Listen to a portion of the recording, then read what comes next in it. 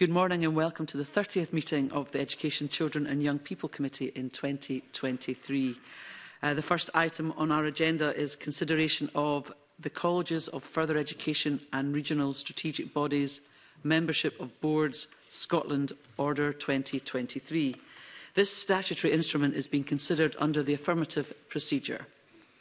And if approved, the order will require that there be two trade union nominee board members, one from the college teaching staff and one from the support staff on the management boards of all the incorporated colleges, New College Lanarkshire and Glasgow Colleges Regional Board.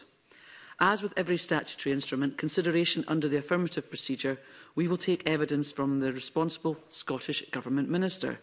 So with that regard, can I welcome this morning Graham Day, Minister for Further, Edu Further and Higher Education and Minister for Veterans, And alongside the Minister today, we have Adam Mackey, Senior Policy Officer, Institutional Governance and Reform Unit, and Alison Martin, Solicitor, the Scottish Government Legal Department. Good morning, everyone.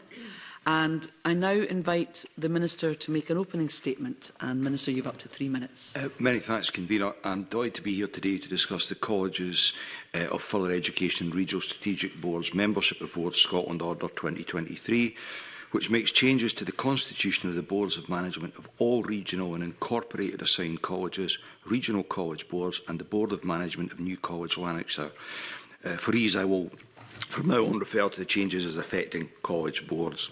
The order makes amendments to existing legislation to ensure there are two trade union nominee members, one from the teaching staff, one from the sports staff, on the college boards. Consequential amendments to the board sizes are also made to ensure there remains a balance of independent board members. I hope, amongst other things, this will go some way to improving industrial relations in the sector by giving greater voice to trade union views in decision making and helping to improve confidence, particularly amongst the workforce, in decisions being made by college boards. I'm grateful to the committee for their work in scrutinising uh, the Colleges of Further Education Regional Boards Membership of Boards Scotland under 2023 and for accommodating my diary today and all that I can also attend a similarly important event elsewhere this morning. I also want to put on record my thanks to Ross Greer, the Good Governance Steering Group and the trade unions have all provided input at various times to help develop the order and prepare the sector for its implementation. Um, it's no secret that industrial relations in the court sector are far from ideal, and that's been the case for some time. Uh, there have been concerns raised both through this committee and through my engagement with trade unions about a range of workforce issues, including college governance. I've been clear throughout that engagement um, that, this, that, um, that the workforce issues are a matter for colleges to consider, but it's my expectation that there is meaningful engagement and collaboration with trade unions and workers on such matters. And I should add that existing processes uh, are pursued when issues arise. This order will make improvements to college governance and add, uh, adding trade union nominees to college boards will, I'm optimistic, improve confidence in college board decision making through giving trade unions a more direct route to bring workforce issues to boards. This aligns with the Scottish Government's wider Fair Work agenda, which at the centre is about workers having an effective voice and having trade union nominees on boards will, I think, further the input of trade unions into decision making. So very much welcome the committee's continued focus on college governance and industrial relations and its scrutiny of uh, this piece of legislation. The government has always been clear that while industrial relations are matters for trade unions and for college employers, it will work alongside both to encourage improved relations and ensure good governance in the sector. Uh, I look forward to taking any questions the committee may have today. Thank you, Convener. Well, thank you for that, Minister. And we will move to questions from members now. Can I start with Ruth Maguire, please? Thank you, Convener. Good morning, Minister. Um, I think this is a a welcome move. It's important, obviously, for the fair work um, principles that you set out.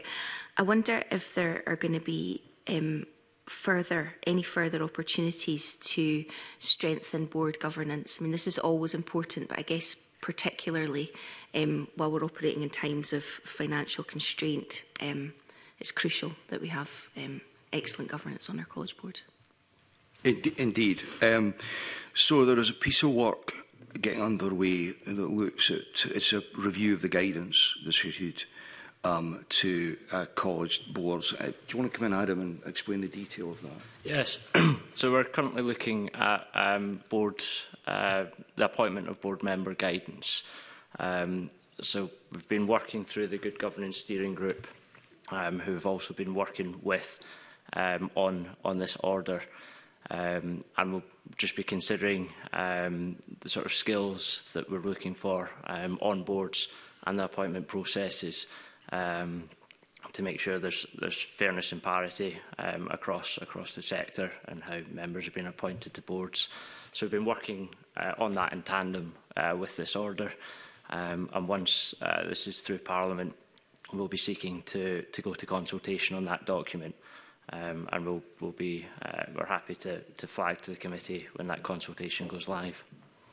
Uh, on top, in addition to that, if I may, convener, um, we're going to ask the College Development Network to look at what the nature of the training that's provided uh, participants and boards.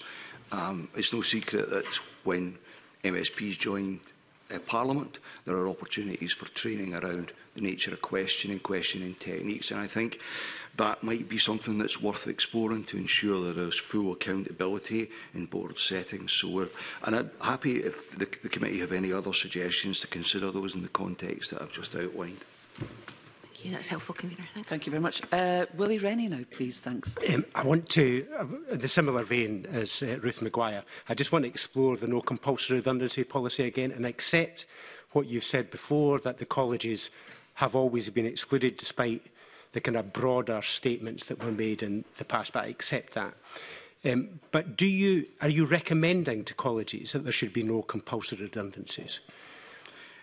Our position, as we've uh, discussed in the Chamber on a number of occasions, is that they ought to be exhausting all possibilities um, to avoid compulsory redundancy. Now, we have to recognise that our standalone institutions and circumstances regrettably might lead to such a situation, but we are encouraging them. And I have to say, for the most part, college principals uh, and, and boards uh, are very much committed to try and avoid uh, compulsory redundancies.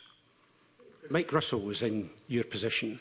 I mean, he was quite clear. He was making a strong recommendation um, he was saying this is government policy and we expect colleges to follow it. So your position is slightly different from, from that? It's a kind of a softer approach to it, or are you still as firm as Mike Russell was? I can't speak for what Michael Russell said all those years ago. Um, I think my position is realistic. Um, we have been very clear with colleges, and as I said earlier, I think for the most part, college boards and principals will want to do anything they can to avoid compulsory redundancies and that's where we are. Uh, Pam Duncan Glancy. Uh, thank, thank you. Thank you, Convener. Good morning, Minister, um, and, and your officials. One of the points that you made earlier was about training and the um, ability to question people, um, including in situations like this. And I'm sure many members of boards, including trade union members now, um, would want to benefit from that. But the evidence we've had from EIS, FILA and Unison has also said that rather than improve negotiating skills, what they need is facility time and support to be able to engage in the structures. They've also said that the machinery um, is not independent. And so the actual machinery, not just the questioning, um, is, is part of the problem. So is there anything that you could do to try and reset that relationship and grow trust back in that machinery? Uh, sorry, do you mean the machinery within the college, if they are sitting on the board, or just the whole machinery? I think so both, I would imagine. So um, the, the ability to influence a board decision, but also um, the way that, for example, um, the management of the Joint Committee um, is held and, and whether or not that you consider that it needs to become independent? Uh, this is a negotiating committee. Mm -hmm. Yeah, I, I mean, I, I think there's no doubt I would agree with you. There is scope for doing this uh, far better than is currently the situation. But of course, we need to get agreement around what those changes might look like. And I have had a number of conversations with all sides in this. I don't think we're in the space where there would be agreement right now. But I do think it's incumbent on myself as Minister to try and drive this forward because we can't go on as we've been for years. There have been far too many personality clashes involved in this. Um, the structures, there are question marks about how they work. Uh, so I think we do move to, need to move to a situation where we review this. Thank you. Thank you. Uh, Ross Greer, from yourself now, please. Thanks, Thanks Convener. Minister, obviously very much welcome uh, this instrument. I think it, it will go some way towards resolving some of these concerns. I'm interested, though, in what the, the process of escalation would be. So you'll be familiar with the issues at City of Glasgow College at the moment. Um, that's what's caused me to ask this question, but I'm asking it in a general sense because I think it applies to more than just City of Glasgow, but particularly where colleges sit under a regional board in, in Glasgow and Lanarkshire. There's still questions from unions about how they should escalate an issue if they're unable to resolve it with college management, what the role of the College Board, the Regional Board, the SFC and yourself is here. Could you explain a little bit about how a trade union that's been unable to resolve an issue directly with management should go about escalating that? Because I'm sure as, MSPs we're all getting lobbied by unions on a variety of issues around this, um, but often with a variety of suggestions of whether it should go straight to the SSC, straight to yourself, or to the college board or in some cases to the, the regional board. What process should actually be followed there if there's a, a concern that particularly where correct process has not been followed around something like redundancies? So um, the regional setups do congest the landscape a, a little bit. To go back to your original point, it's not for ministers, as I've kept saying, to intervene in individual disputes, but there are processes in place. And if we take the example of Glasgow uh, and the setup their current way. There is an escalation route, which is to the regional board. Now, in the context of the dispute that has been running at one college in Glasgow, that has not been followed. I met with the trade unions last week, and to my surprise, uh, learned that they had not pursued that. There's also um, raises the question about the board's role in this. Should they be proactive where they see a dispute? Um, on the back of those discussions, I met the board last Friday. Um, I've encouraged both of them to get together. Um, I don't care who made the first move, uh, to explore uh, some of the claims that have been made around that particular dispute. And I'm pleased to say that on Monday, they took that opportunity. So there have been discussions, and I understand as of today, the trade unions have to go back to the board with further information. And, and I outline that because I think that shows that there are processes that exist. I'm not saying they're perfect. Uh, as you know, we're considering future governance arrangements in the regional setups. Uh, but that is the process that can and should be followed. If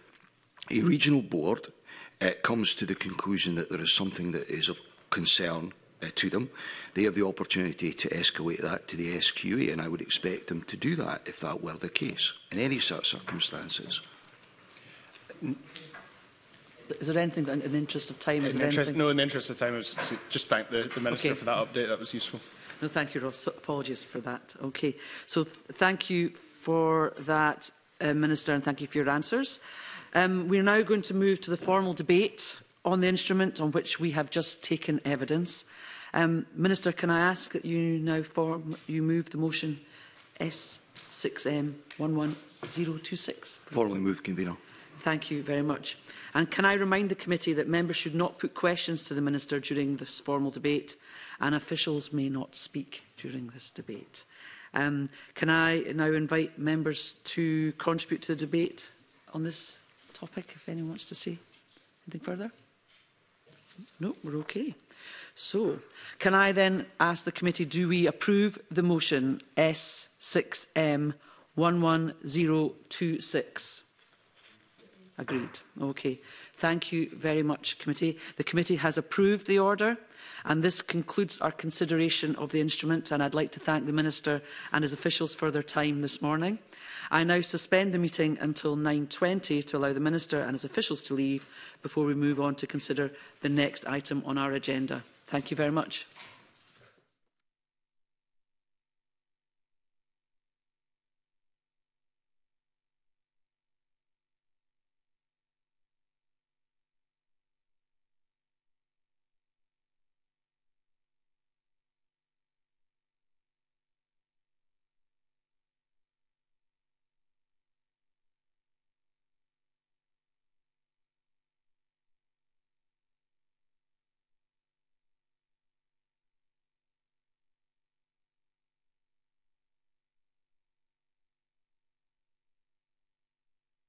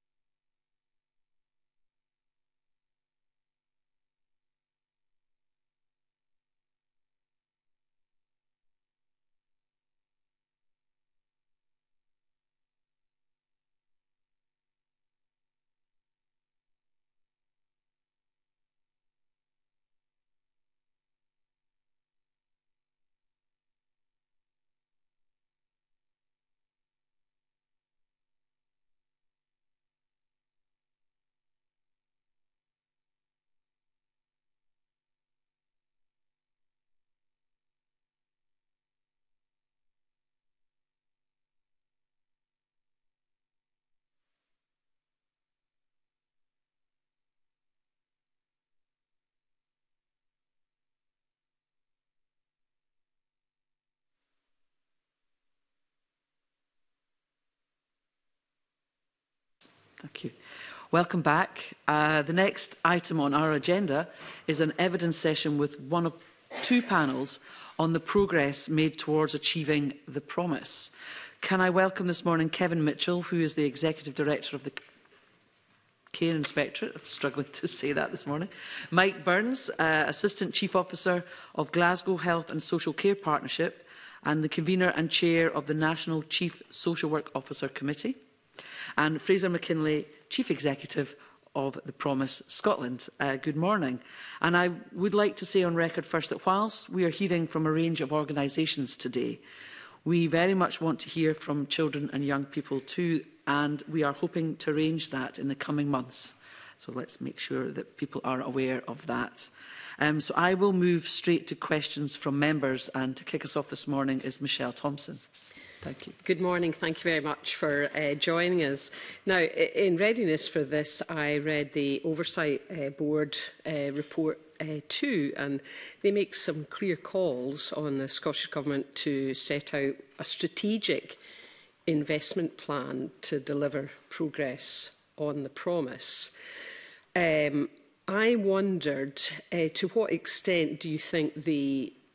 appreciate the challenges within doing that, given the chronic funding constraints are in place at the moment.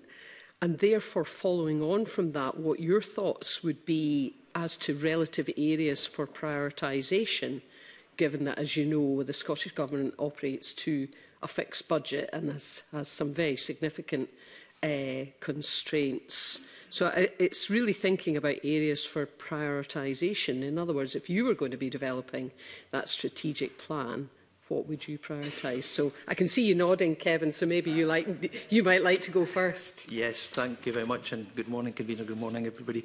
Um, yeah, th there are undoubtedly some significant challenges.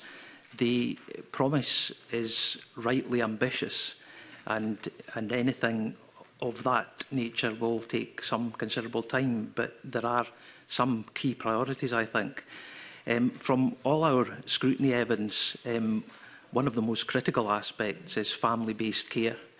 If, as a nation, we are to commit to keeping children out of public care and more in family-based care, whether that's with their families or indeed with extended families or you know, of that nature, then clearly you know, family-based support is absolutely critical.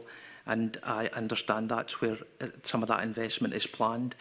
It will be important to provide not just that family-based care, and it must be around, I think, from our evidence, the family, the whole family. So that would also include adult services because children live in families. So it's just as important to ensure that the right services are available for not just the children, the families, but the parents as well, if that is impacting on the children's lives. So that, that is a key priority, but also for that investment, I think our, our evidence would tell us the significant importance of early intervention, because that, that again is, is important. Um, support by the most vulnerable, eh, and, and poverty plays a huge part in this, but support for the most vulnerable needs to be there, not just early, but at the right time and early enough to prevent things escalating. So uh, again, from the scrutiny evidence we hold, that will be absolutely critical. Probably on parallel with that, if I, if I may say, convener, is ensuring that there is the right staff, the right numbers of staff, skilled and a skilled and competent workforce. But we know from, again, our, all our scrutiny evidence that the current um, pressures, significant recruitment and retention pressures, is right across social work and social care, and probably nowhere more so than children's services. Um, I don't think in all the years I've been involved in scrutiny now, which is more than I care to remember, um, I don't think I've seen it as bad, and I would include during the pandemic as well. I think it's it's you know almost every local authority that we interact with both formally and informally, are having significant recruitment challenges around uh, social work staff, social workers in particular, but not excluding. Uh, clearly, there's family uh, support workers as well, and and indeed uh, shortages similarly in critical uh, areas that support children and families. And I suppose I'm thinking there about health visitors, speech and language therapists. So it's it's quite broad. Um, so so that would be, I think, the two there's a number of complexities, but that would be the two most significant areas that I would, I would certainly highlight. Yeah, and I'm interested in what you say, obviously, about uh, capacity, and that is an issue both by labour availability and skills.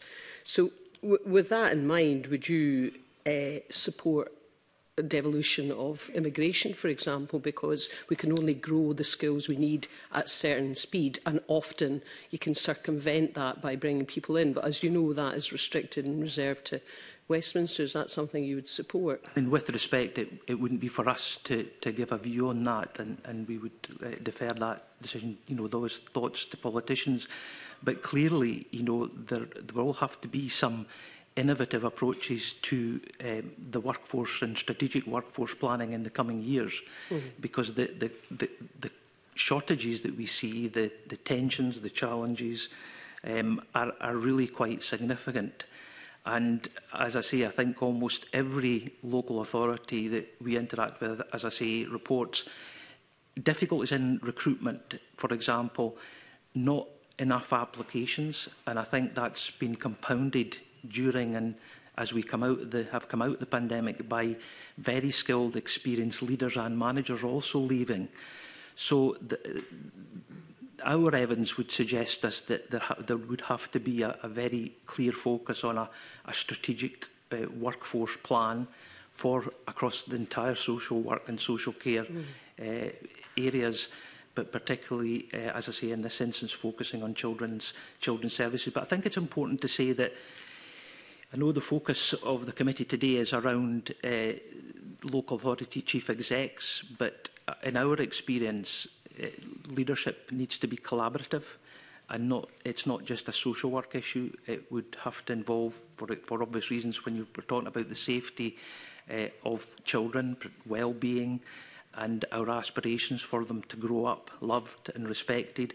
That requires very, very strong, in, in our experience, very strong collaborative leadership at all levels and not just focusing on local authority chief execs and social workers, but I'm sure the, the committee understand that. Uh, uh, uh and I, I know we've sort of don't want to, but remember the workforce issues I think exactly. are going to be explored elsewhere by about, another member. I was exactly I was about to make that, that point. I, I think you've highlighted the complexity of it, but just staying on the theme of prioritisation of an investment. I appreciate you, you've set out the complexity very well, but just staying in that theme, I could see you nodding, Fraser. I'm interested in kind of teasing out the relative prioritisation in developing an investment plan.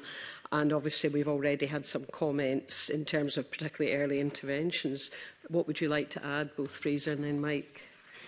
Thank you. Um, and, and just, I guess, for the record to say that the, the Oversight Board is an, is an independent body um, that the Promise Scotland supports in terms of a secretariat support. But, but all of that said, of course, the report is pretty central to the work that we do. And, and we've been working pretty hard, really, behind the scenes to help government think about and put into place an investment, a methodology for investment and disinvestment. When I think about, as some members know, I used to work for Audit Scotland, worked there for 15 years, so spent a lot of time writing reports about how public money is used and, and the extent to which we've been able to move towards prevention. And it has been really, really difficult. And I, and I think one of the reasons for that is that we've not been really focused enough both about the areas that we want to invest in, but then alongside that, what do we need to disinvest in? And it does seem to me, given the financial position that we are now in, which is probably as challenging as I've known it in the post-devolution e-, era, um, that disinvestment discussion is probably more important almost than the investment discussion. I, would absolutely agree with Kevin. I think there is wide um, and shared agreement that early help and support for families is where we would want to invest and prioritise. And then the next question is, okay, where do you find the money? and that's the bit that, I, that there is no easy answer to. It's not easy for government. It won't be easy for Parliament when it comes to the, the point of making those decisions. What what we are really focused on, and you know, we'll wait and see if our, uh, what comes through this year's budget in a month or so's time. But we think having a really clear and robust methodology that's properly engaging, that properly speaks to those with lived experience, um, is will develop some propositions for where that investment and disinvestment would come. And then really importantly, how you get from one to the other. I think there needs to be some investment in the change process. Again, I think the other thing we've not done very well in the past is that we've expected people to run the existing system alongside doing the changes to where we need to get to in the future. And at the moment, I'm sure Mike will say something about this in terms of what it's like delivering services, but that's a really hard thing to do. Yeah. So we do need to be much better at bridging that gap. And uh, the whole family wellbeing fund, I should mention, was I think the government's commitment to trying to do that. That, as you know, was a £500 million commitment in the lifetime of this parliament. Two lots of 50 million were identified in the first two years. You know, I, th I think I think it's looking unlikely that all of that money will be found and spent in the next two years before the end of this parliament. So I do think, as we say in our submission to the committee, you know, how, how that money is identified and used to really help make that shift towards the longer term ambition um, for prevention is really pretty critical. There's a follow-on question about that wellbeing fund, but thank you for your comment about disinvestment as well, where you have a fixed budget, which many people don't seem to understand the implications of a fixed budget. So, Mike, last comments from yourself about prioritisation of uh, investment, then thank you, and then hopefully we can move on. Yeah, I mean, really helpful question, and I, I think really immensely helpful opening comments from Kevin and Fraser. I think the point that you asked about robust strategic plan and is it, in a sense, appreciated. I think there is progress on that and, and certainly our dialogue with Scottish Government has been, I think, a great deal more appreciative of that challenge and about the need, as Fraser's highlighted, for transitions from the as-is system to the 2B. I think Kevin makes the point really helpfully that the enabling context, the enabling, because I think in Glasgow in particular and nationally, we've been looking at saying if it is whole system and it is single system, one has to recognise the scale of complexity. And in recognising that complexity, you then have to understand that the enabling context, as Fraser said, has got markedly worse than the last four years. And come March, we will be four years into the impact of COVID and the pandemic, and we certainly wouldn't in any shape or form say that we're out of it. We're actually seeing greater acuity, greater challenges around mental health, and we're seeing the impact of poverty and austerity at an even greater rate than in the context of, as Fraser says, public sector finances that are um, the most challenging.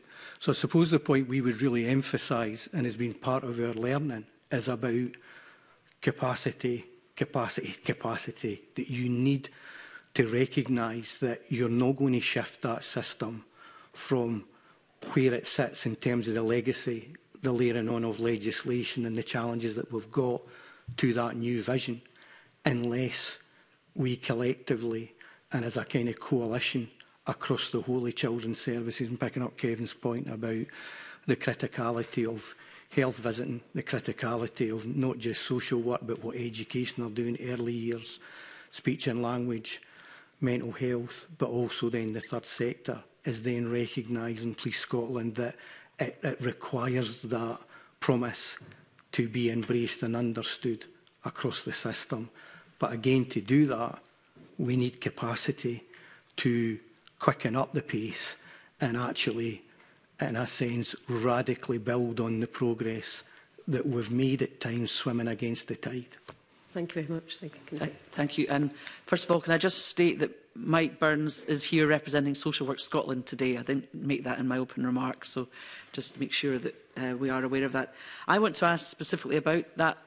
uh, whole family wellbeing fund and the impact that it's having so far and how might the success that it's having be built on in terms of prioritisation?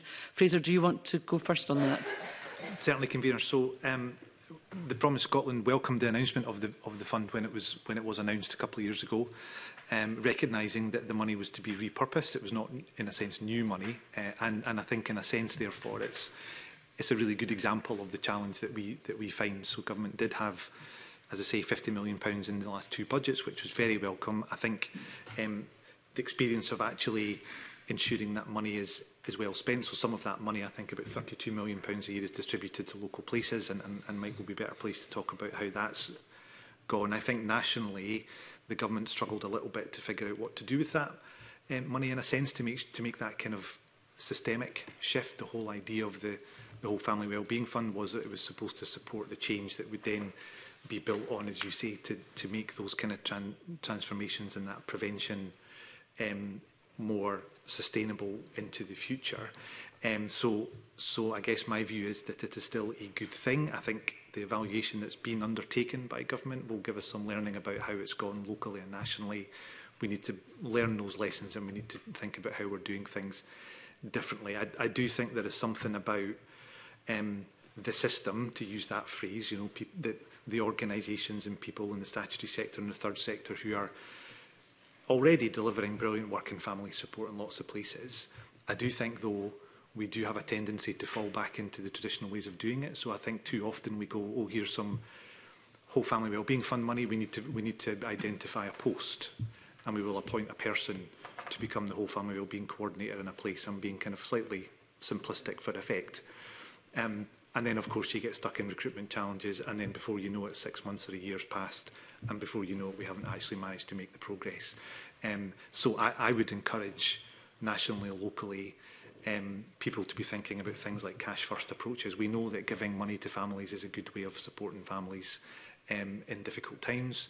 Um, and, and we should be thinking a bit more radically, I think, about what some of that money is used for, as well as the commitment that the government has made to taking a more strategic approach, as Mike said, to identifying where the remaining 400 million of that fund is going to come from. Willie, do you have a, Willie Rennie, sorry, do you have a quick sup on that? Yeah, I mean, I've just I've received reports that it's this money is being used to backfill where perhaps reductions in expenditure have been made elsewhere. I mean, what has happened, you know, where that money has been repurposed from, how is that service been provided and is there evidence that it has been just backfilled into where it's been cut previously? So I think, so I've not seen the hard evidence of that, Mr Rennie, but I have heard of conversations around that and I do think when it gets into local places, um, the, the, the way in which money is brought in is quite, it's quite hard, I think, to say you know, this local area got that amount of money and it's definitely been used to backfill that. But I do think in lots of places people have been really very strong in ensuring that that whole family wellbeing fund money is used for things that would not otherwise have happened.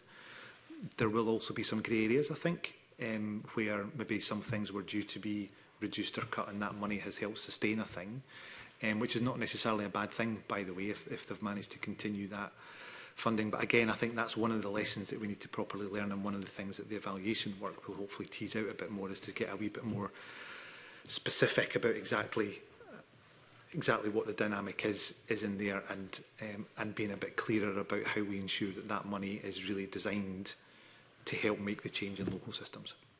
Uh, Mike Burns, over to yourself now. Thanks. Ben, thanks for clarifying that position, but I do then kind of reference Glasgow quite a bit That's in fine. terms of my um, e-, experience. But I think the point that you're, you're raising, Mr Rainey, is that, that, again, what I think has been really helpful has been in a sense, kind of holding our nerve on spending that money and actually recognising, and we've had a lot of political buy-in from both the council and the IJB about recognising that this is once in a generational shift towards the aspirations of Christie and getting it right for every child.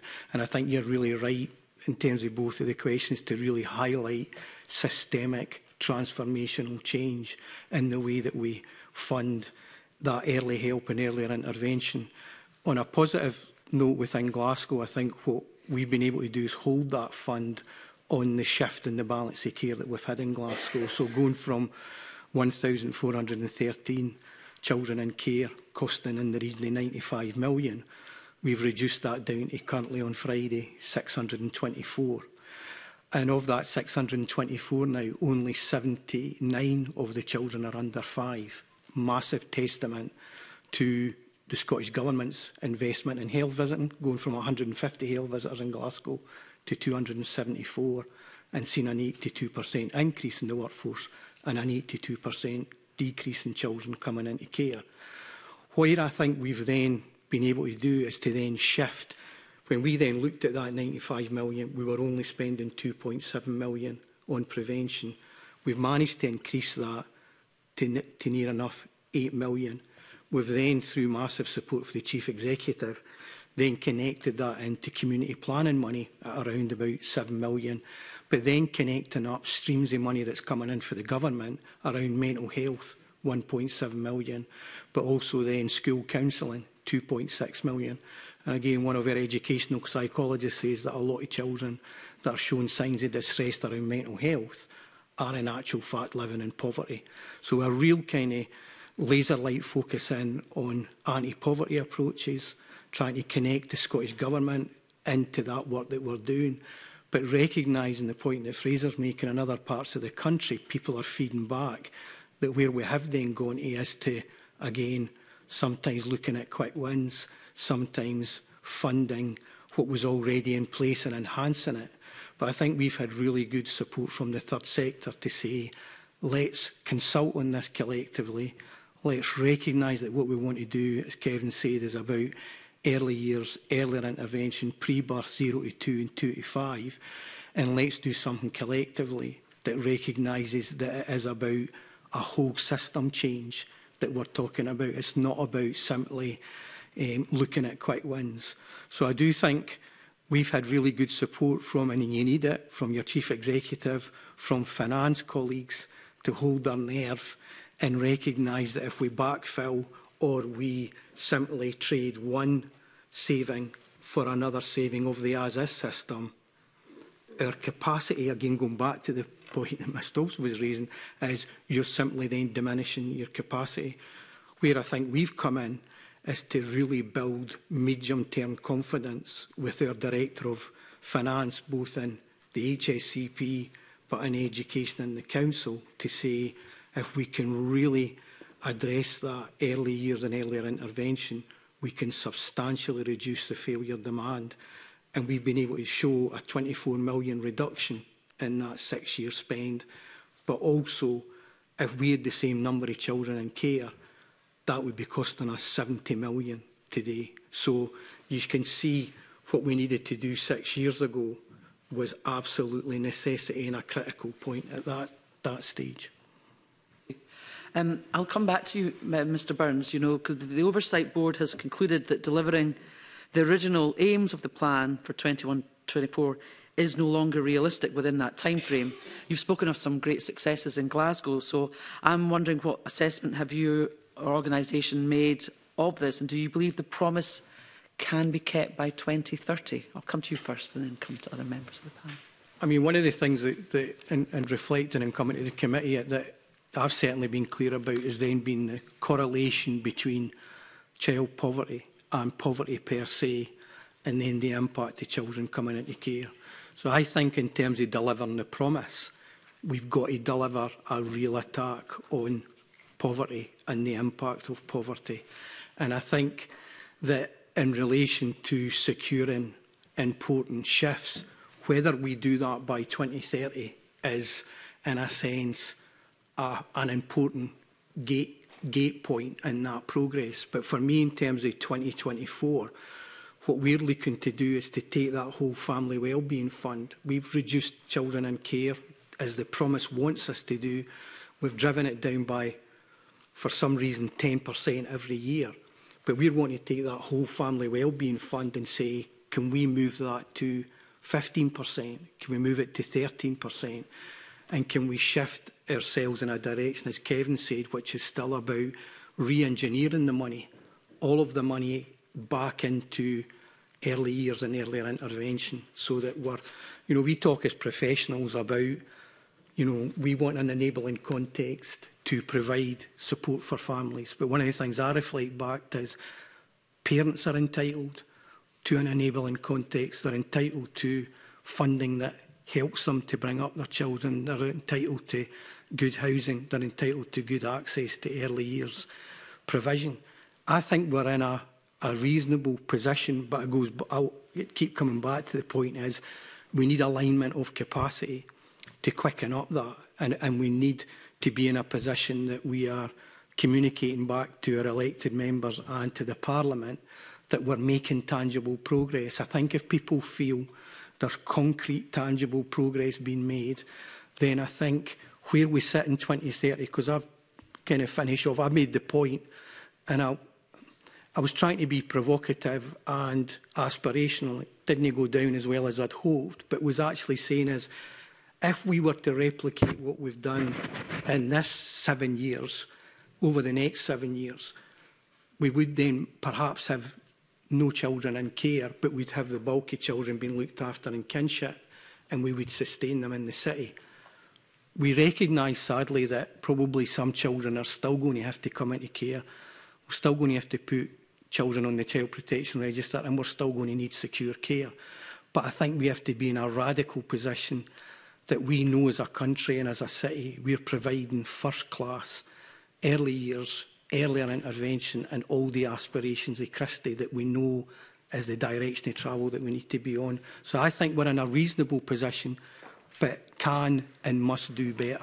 Okay, thank you for that. I'll just come to Fraser McKinley now. Thank you. So, thanks, Convener. And in answer to your question, can the, the promise still be kept? Absolutely yes, is my response to that. And the Oversight Board report does say that, as well as recognising that Plan 2124 you know, was was unlikely to be met in full. And, and And I don't say this in any way as an excuse, but the independent care review reports were launched in February 2020. They were born into a world in which the pandemic was literally unfolding.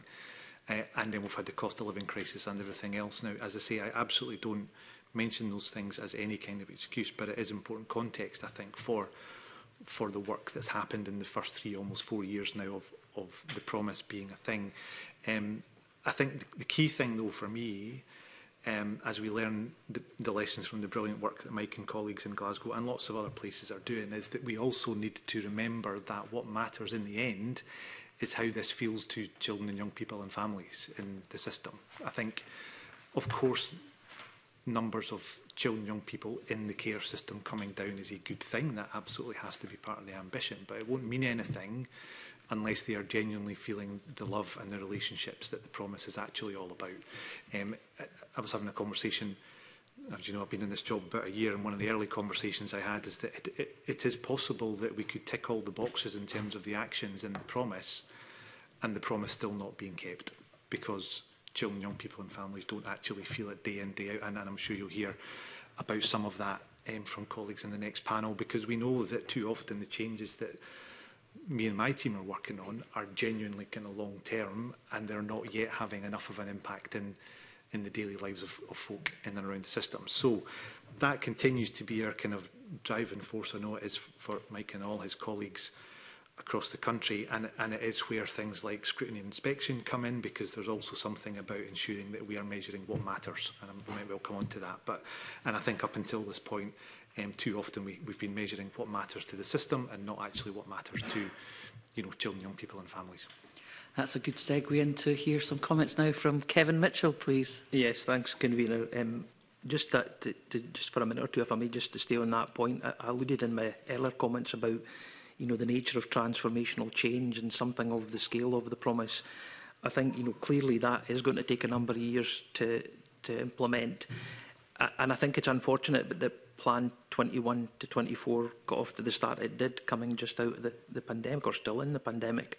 And, you know, I think as Fraser and Mike have both referenced, you know, the the context of that is obviously the, the cost of living pressures, the staff recruitment and retention that I alluded to, and, and just uh, a, quite a, a challenging policy landscape overall. But but I think there has to be, and you know, we've seen through our scrutiny work, which I'm sure the committee may come on to, is that there is, I think it's fair to say, we see this principally through our strategic inspections uh, in, of children at risk of harm, that there is, you know, whilst we're not inspecting the promise per se, we do see uh, aspects that we're interested in in terms of the commitment of chief officers. I don't think there's any doubt that there is a strong commitment there from uh, chief officers and partnerships, which are crucial, not just uh, focusing on the chief executive of the local authority, important though they are in the whole uh, picture. So we, we see that commitment, but I think it's fair to say that to achieve it, there would have to be renewed focus, energy, drive and commitment, uh, continuing at pace to achieve all the, the ambition, all the ambitions of the promise. And, you know, we recognise that we've a part to play in that, which is why our six work streams, three are outward focusing, and three are inward on ourselves because we recognise that with others and scrutiny partners in particular, we have a role to play in that as well. And we're, we're uh, committed, as I think chief officers are, to doing all we can to make sure that uh, our contribution helps ensure that the promise is delivered on time by 2030.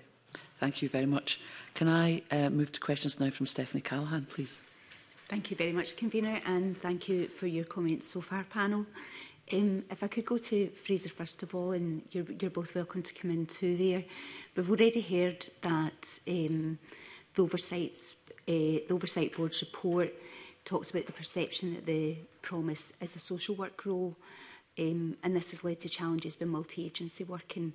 So I'm wondering what work has been done with schools to help them realise the promise and what more could be done in that area. Yeah, certainly. And and I think the first thing to say is there's lots of good work happening in schools across the country. Um, I know that in places, you know, like North Lanarkshire, um, there was there's training that happens for um, pe people that work in schools. Similarly, they've done stuff uh, like that in Midlothian and lots of other places.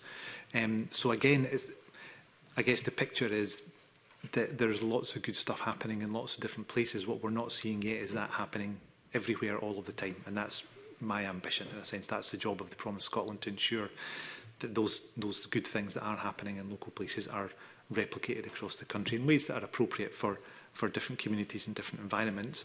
We do still hear that um, the promise is seen as a children and family social work thing, uh, and also that it is really just about the care system, and of course it is about children, young people and families in and around the care system. But actually a lot about the promise, and we've talked about it already, has to be much wider than that. So if I take an example, uh, one of the things that you'll know is in Plan 21-24 and is in our work programme for this year is that there's a commitment in there to uh, end informal and formal exclusions of care experienced young people in schools. That's a clear commitment that was in the promise and was carried forward in Plan 21-24. That's an enormously ambitious and challenging thing to want to do.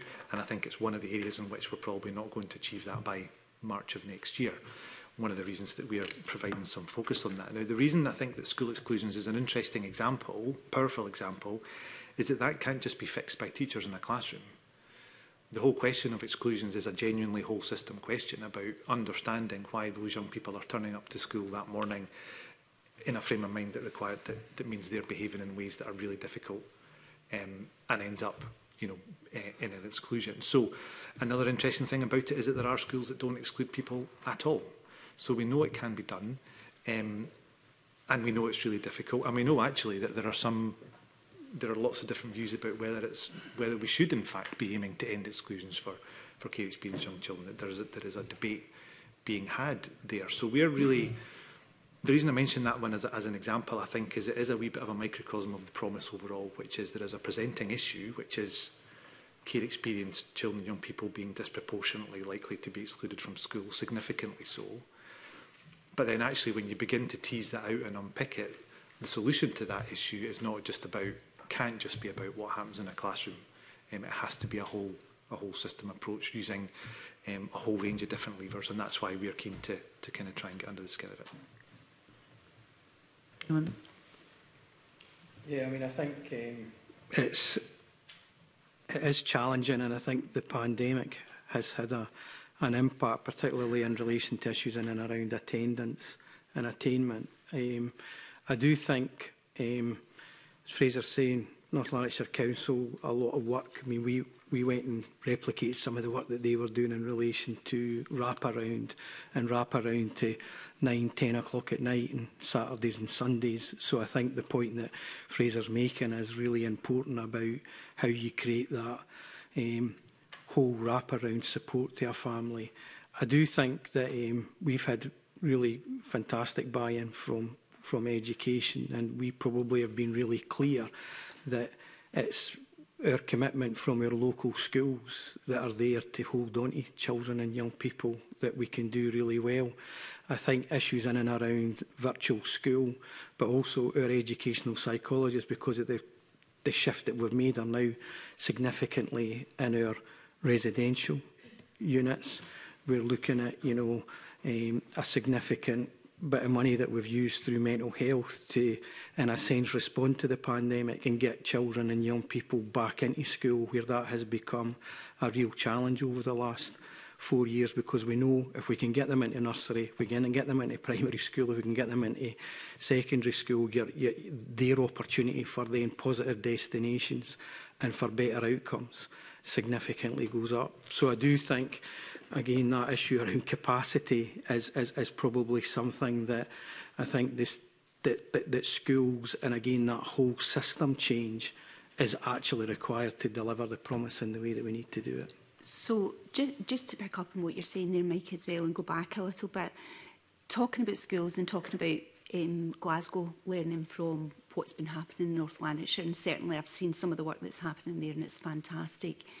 Um, what, what's actually been done then to make sure that actually that learning is going on across the country so that other areas uh, can learn from the good practice, not just North Lanarkshire and Glasgow, um, but right across the board? One of the things that I say is that, that fifth, which is quite unusual because I think it's like 15 local authorities have contacted us off their own back and we have in a sense been then really keen in terms of the work that we've done with Scottish Government, that we've done with the promise that we've done with Celsus and also uh, the University of Strathclyde. We've then been really open to actually because whenever we take that dialogue out, we we learn and we're always actually trying to find out where is that um, that breakthrough or where is that bit of progress that's been made that we need to be attended to. So again, it, it kind of links to the bit in relation to Kevin's challenge around integration because integration and inspection, but we wouldn't be we would be recognising that we still have a massive and long journey to go in relation to making some of the improvements that we need to make. So I do think it's, it is about, just as you're saying, it is about that cross-system learning, about where it's working, is, is I think really critical. response to that follow-up? I'm already conscious of time, if that's okay. Thank you very much, Fraser. I'll be very quick, Convener. So um, one, of the, one of our key jobs is to ensure that good practice is shared, uh, and I think it's important to stress that while we are sharing things on our website, we've got a Stories of Change initiative, which is all about sharing good practice in places. But actually, it needs to be deeper than that. So, as I say, on this specific question, one of the reasons that we've um, picked exclusions and education as a specific focus for us this year is to do exactly that, to ensure that we can really get under the skin of the virtual school approach in North Lanarkshire, because it's fine to say that there's the virtual school approach, everyone go and do that, but actually it's the, it's the detail of how that's done that's really important and the time that it takes to properly understand what's happened in these places and then to take that into your own context and apply it. So we're getting into some of the the real detail around around sharing of, of lessons and we run communities of interest, communities of practice and stuff. So it's a key part of our job. That's great, that's really helpful. So just moving on a little bit there, maybe stay with yourself there, Fraser, as well. Um, certainly, then um, the, you know, we can note as well that more robust data on sibling contact was needed um, and who who's, Who Cares Scotland's Brothers and Sisters participant, Participation Project, can't get my words out today, found that many siblings were unaware of their sibling rights and did not have regular contact. And clearly, actually, you know, being aware of those rights also provides a lot of security um, for children as well, that they're going to get to see their siblings. So I'm just wondering, has there been further progress made?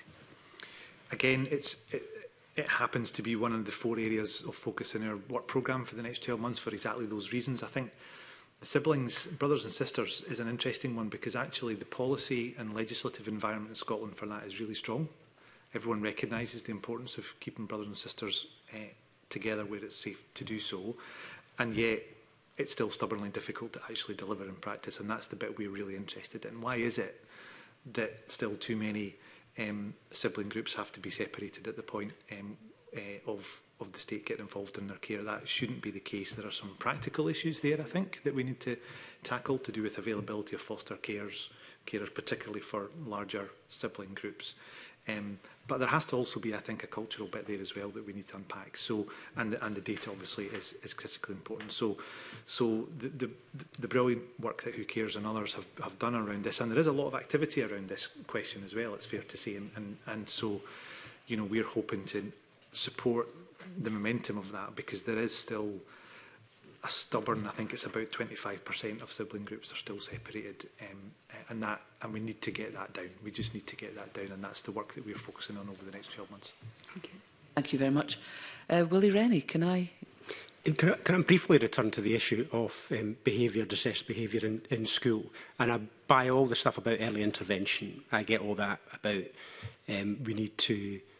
uh, avoid exclusions if at all possible. But teachers tell me they're often frustrated that they're left to pick up the tab where the service fails elsewhere. How do we deal with that? How do we support teachers to do their job?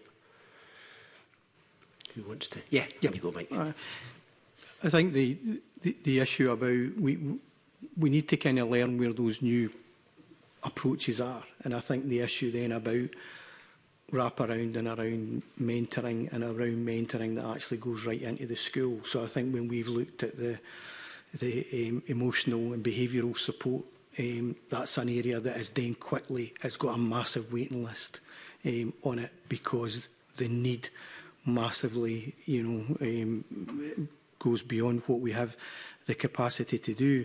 I think in relation to that, it's then about that engagement and about when time out takes place and when we, we need to take um, different approaches. But it's also then about how we integrate and how we then hold that young person. Because I think it picks up Fraser's point is, like anything, the longer you're out and that then becomes more of a barrier for that young person. So we have to find a way of supporting educational colleagues to feel that there is then, it's not just a wrap around for the child, but it's a wrap around for that getting it right for every child team, that the team's working together and the team's doing that in a way that's connecting in with whether it's residential, connecting in with kinship, connecting in with fostering, connecting in with that family, is that that's something that we're doing together. Um, I think, again, it kind of picks up the issue about brothers and sisters and about, again, some of the issue in relation to capacity, because a lot of the time what comes back to us is we're running at 100 miles an hour is where's the data on that and where's the data of improvement.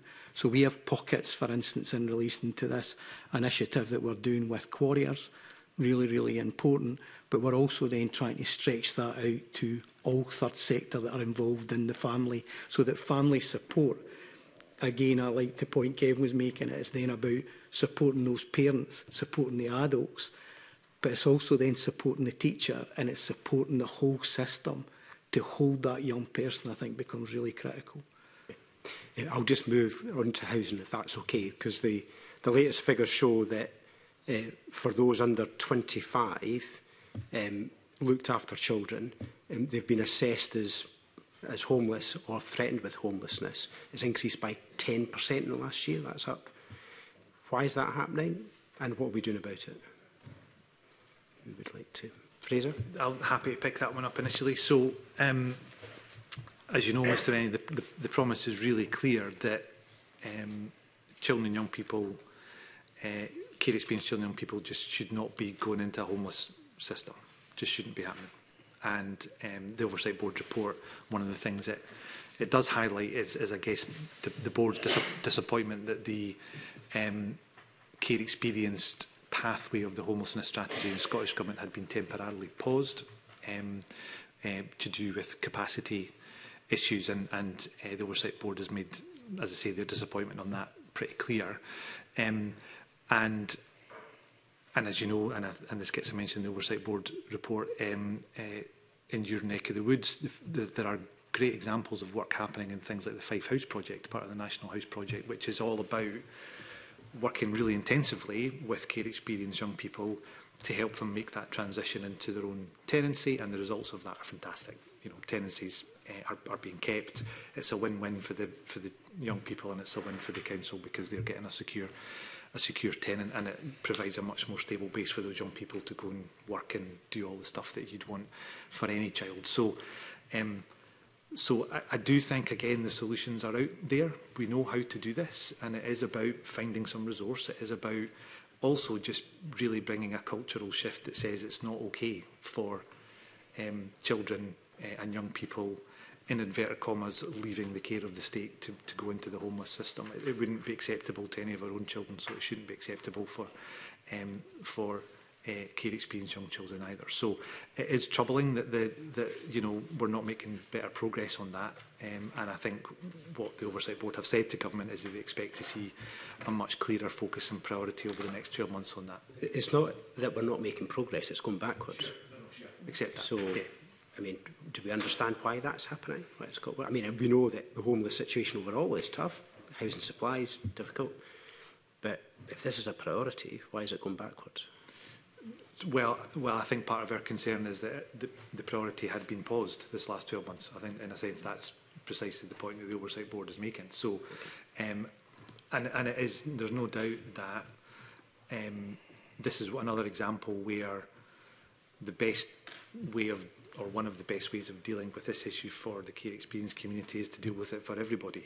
Do you know, in the same way that exclusion is probably is better to not exclude any children at all, not just not just care experience children. So, so as you say, I saw the answer is I don't really know why those numbers are heading in the wrong direction, Mr. Rennie. My guess is it is part of that wider context that we see across the piece. And Edinburgh just two weeks ago announced its housing emergency. So um, there's no doubt that those headwinds that Mike described around poverty are as strong as they've ever been, but that should only redouble our, our commitment, I suppose, to actually make the progress. Michelle Thompson, do you have a supplementary here? Yeah, just a, a quick... I, I'm fairly new to this committee, uh, and I'm not aware of the reason why the, it was paused. Uh, if you could help me understand that, that would be useful. So, not in, not in great detail. It was it was paused for capacity reasons, is what the was what it was announced, what the okay. government said was the okay. issue. Um, and there were other work streams, equally important, really important work streams around domestic violence um, uh, against women and girls in particular, were continued. Clearly, from our perspective, it was a concern that the, the care leaver pathway had been temporarily paused. So, I mean, that's not to say, and the government, I think, would say um, there's not been any work happening on it at all, but it was in the strategy and it was temporarily paused. Right, okay. So again, it's one of these areas where if everything is a priority, then nothing's a priority because of potentially chronic constraints. But I, I mean, I'm guessing as well. I, I don't know. So indeed, indeed, and and I make, I guess, no no apology for wanting to push the care community to the front of the queue for, for the prioritisation. Mm. But as we said right at the start in response to your question, these decisions around prioritisation are difficult. Um, and, and, and I suppose something we're not terribly good at talking about out loud is if sometimes if you're prioritizing one thing, you're inevitably deprioritizing something else. And, and sometimes I think we more, need a more upfront and honest discussion about that. Okay, thank you. To comment on this as well? Yeah, just very quickly on that point is that I think that we absolutely welcome the issue of going from 16 to 24, 25. And I think we recognize that how important that is.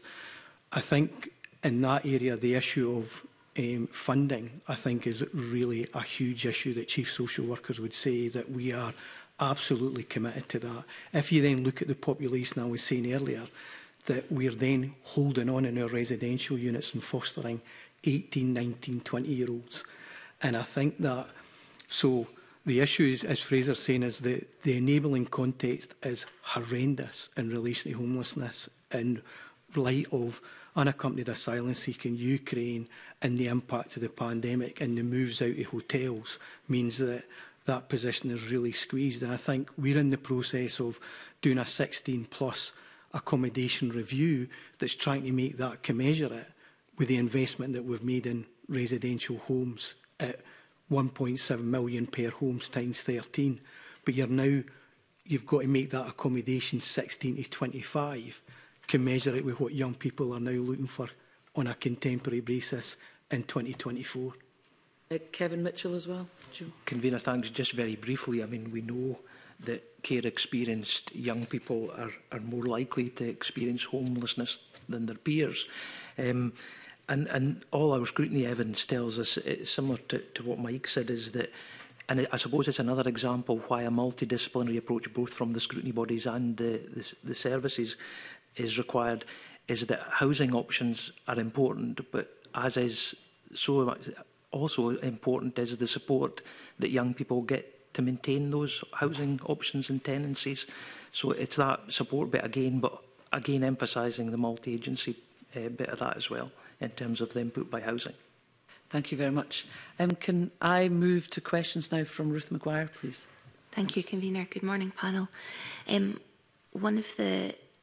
areas identified for priority um, focus was early deaths of care experienced children and young people. I'd like to hear from you on that. I was quite surprised to, to read the information about um, circumstances of, of, of early deaths was, was not collected. Um, but I understand that there's um, now a national hub for reviewing and learning from um, early deaths of our, our children and young people in care. I wonder if I could hear um, perhaps from Kevin initially about that work. Yeah, th thanks, Gavita. Um, yeah, I, I, I suspect some of what you referenced there might have alluded to the report we published as well, um, which was an overview on our responsibilities of deaths of looked after uh, children in Scotland. And, you know, that most recent report covered a total of 61 uh, care experienced children young people. Um, I think that that's, I suppose, where there may be some confusion because our specific role is about the deaths of looked after children and reviewing those. And that's the contribution we make to the Child Death Review Hub, which is led by his.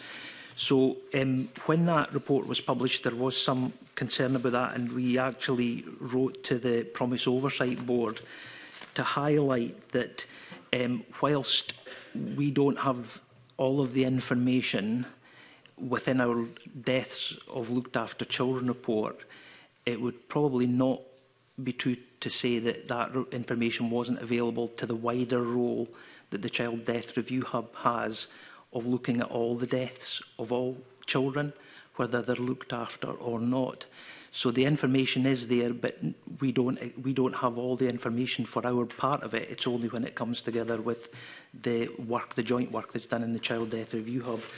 But again, it, again, there was some confusion, I think, and, and I, I don't know if the committee were aware of it, but um, of those 61, um, 42 were looked after, and 16 of those were light, due to life shortening conditions. So again, tragic though those are, there's nothing, not always anything to suggest they would, they would have been avoidable. And then obviously there's, within that number as well, there's also deaths through misadventure or unexplained deaths. Um, and again, tragic though those are. So I think it's important to get below the figures. But we did provide that clarification to the Oversight Board um, to make sure that, that those figures were understood.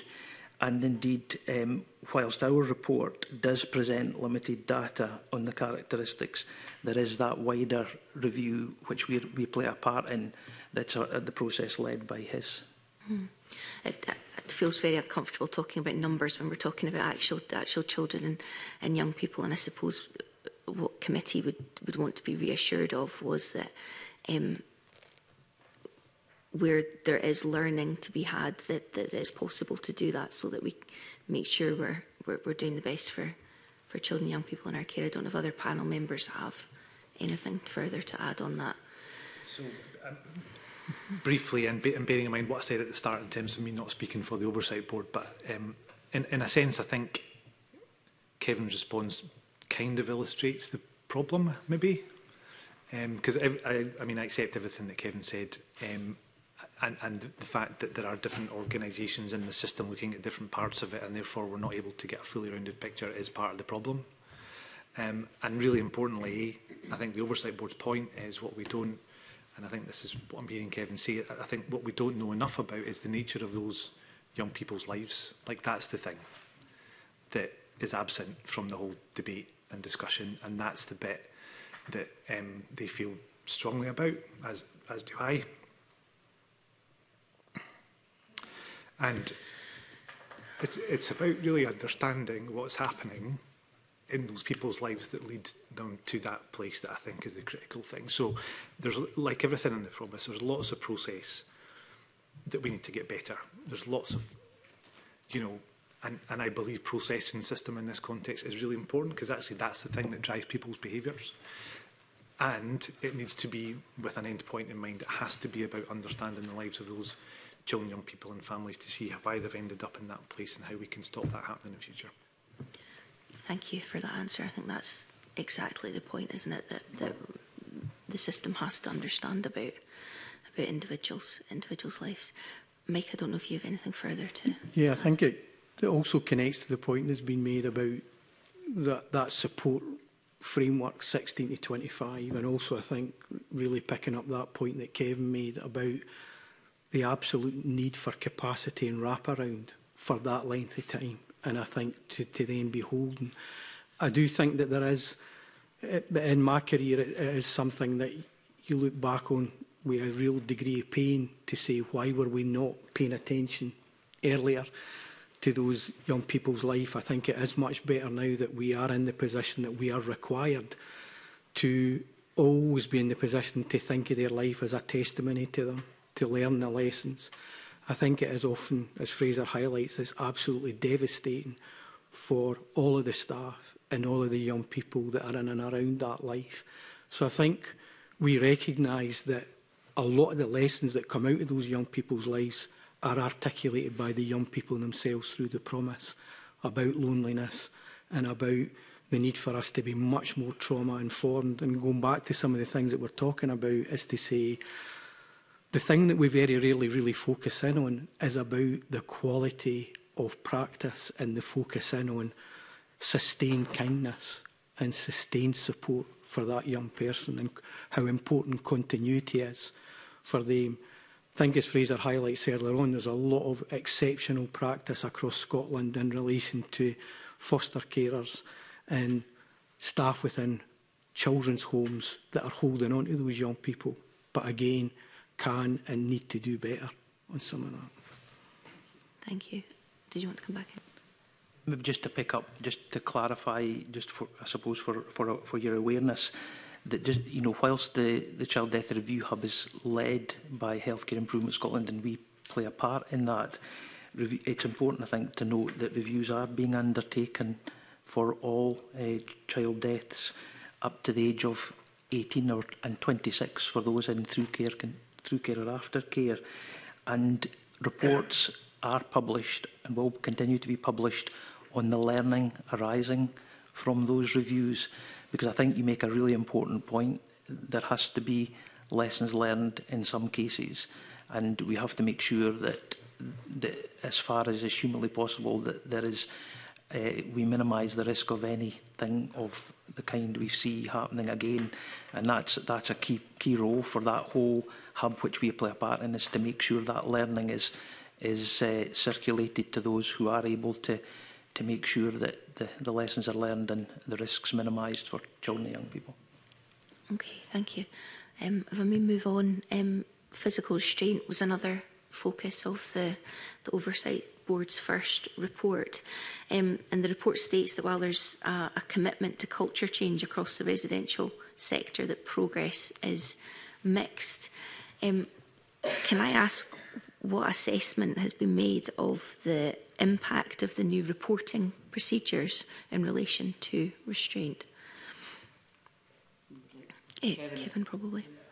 Certainly, restraint, uh, you know, ideally um, we would prefer there was no restraint, but um, the, the, the procedures and processes have been uh, strengthened and we make sure or we require care services, for example, to notify us of any incident of restraint. I mean, proportionality is, is key when restraint is used.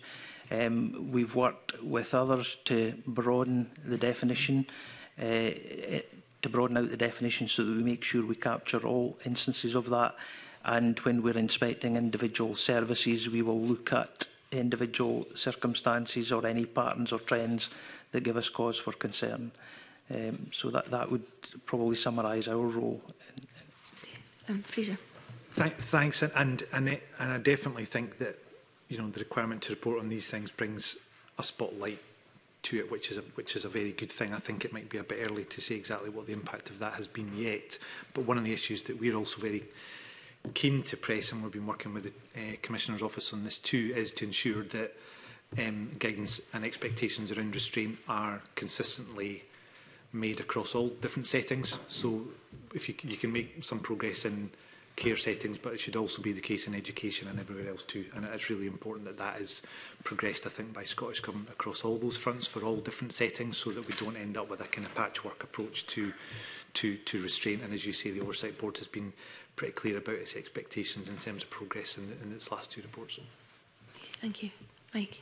Yeah, I think, um, again, some really good progress in relation to we've within our children's units replicated how nurturing is our schools. So we've, in a sense, gone down a route of how nurturing is our children's homes. And again, I think, as Kevin and Fraser are saying, is a commitment to no restraint And again, it's been really positive because we've been working really then closely with Kibble and also with Aberlour, again focusing in on that strength-based, asset-based, trauma-informed and also recognising that all behaviour is a communication. And we've had you know, significant contributions from speech and language therapists about enabling us to understand often where there is a eh, issues in or around delay and also issues around communication and children on the spectrum and actually understanding that. So again, I think that, that, that there's some really positive work there. We're rolling it out, but we also want to be in the positions that we're also sharing that with Kibble and, and, and other parts of, of, of the system. Can you quickly go back? I'm afraid I'm not able to do so, okay. Can I move to questions now from Pam Duncan Glancy, please? Thank you, Convener, and good, good morning to the panel. Thank you for answering the questions so far and sending in the information you have in advance. Um, one of the submissions that we got was, um, of course, from the Promise Scotland.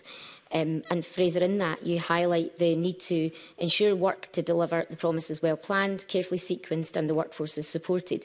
A number of those issues we have covered today. But can I just ask specifically on that, to what extent are these things currently happening? Um, so we think they need to happen more.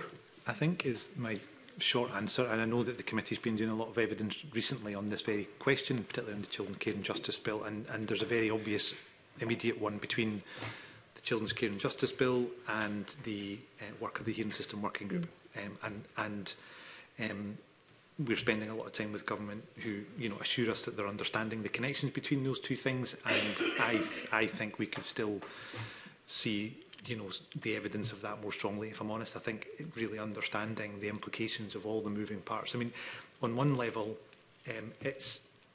incredible you know if I take a big step back it's really so positive that there is so much policy and legislation coming through Parliament at the moment which is absolutely designed to help keep the promise that's a thoroughly good thing the risk of that is the complexity that it brings We've already talked about the pressures that the workforce are under, and you've heard that in evidence from Social Work Scotland and others. So we need to be really careful that the planning and the sequencing of all the different moving parts, the cogs that are turning, all make sense together for those who are both delivering those services and dealing with those changes on the ground in terms of the service delivery end of it, and as importantly, you know, the people who are um, you know, receiving the services, the children, young people, families and, and people with care experience. So, so I think we would still like to see more on that. I still think there's an opportunity to be clearer about how the sequencing,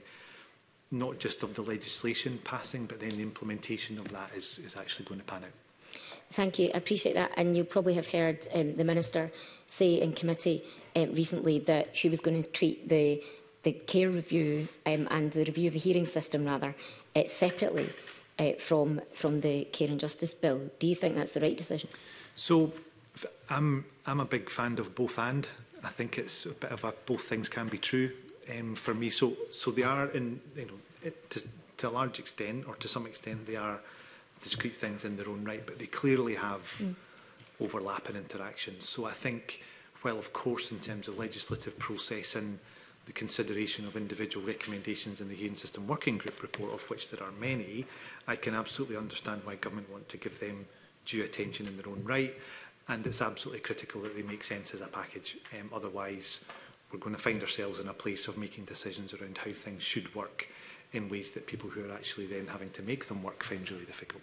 Do you think there's a risk for the bill if the, the system hearing changes that are being suggested don't happen first? So, so yes, I think there is a risk of some of that. I think because of that important interaction between the two pieces of work. And I guess the reason I'm hesitating is it's, it's not necessarily, I think, quite as simple as saying you need to do this bit first and then do that bit.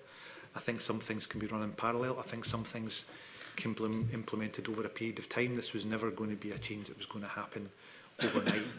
so again, I don't think I would have a specific view about exactly what bit needs to happen first, to followed by the other bit. In a sense, that's you know the government's job. And and I think what's really important, and we list, as you say, in our submission to you, a whole range of things that are coming together in a sense over the next period, which makes it really, really important that that holistic view is taken and that everyone really understand how those bits are actually going to fall into place once the legislation's passed.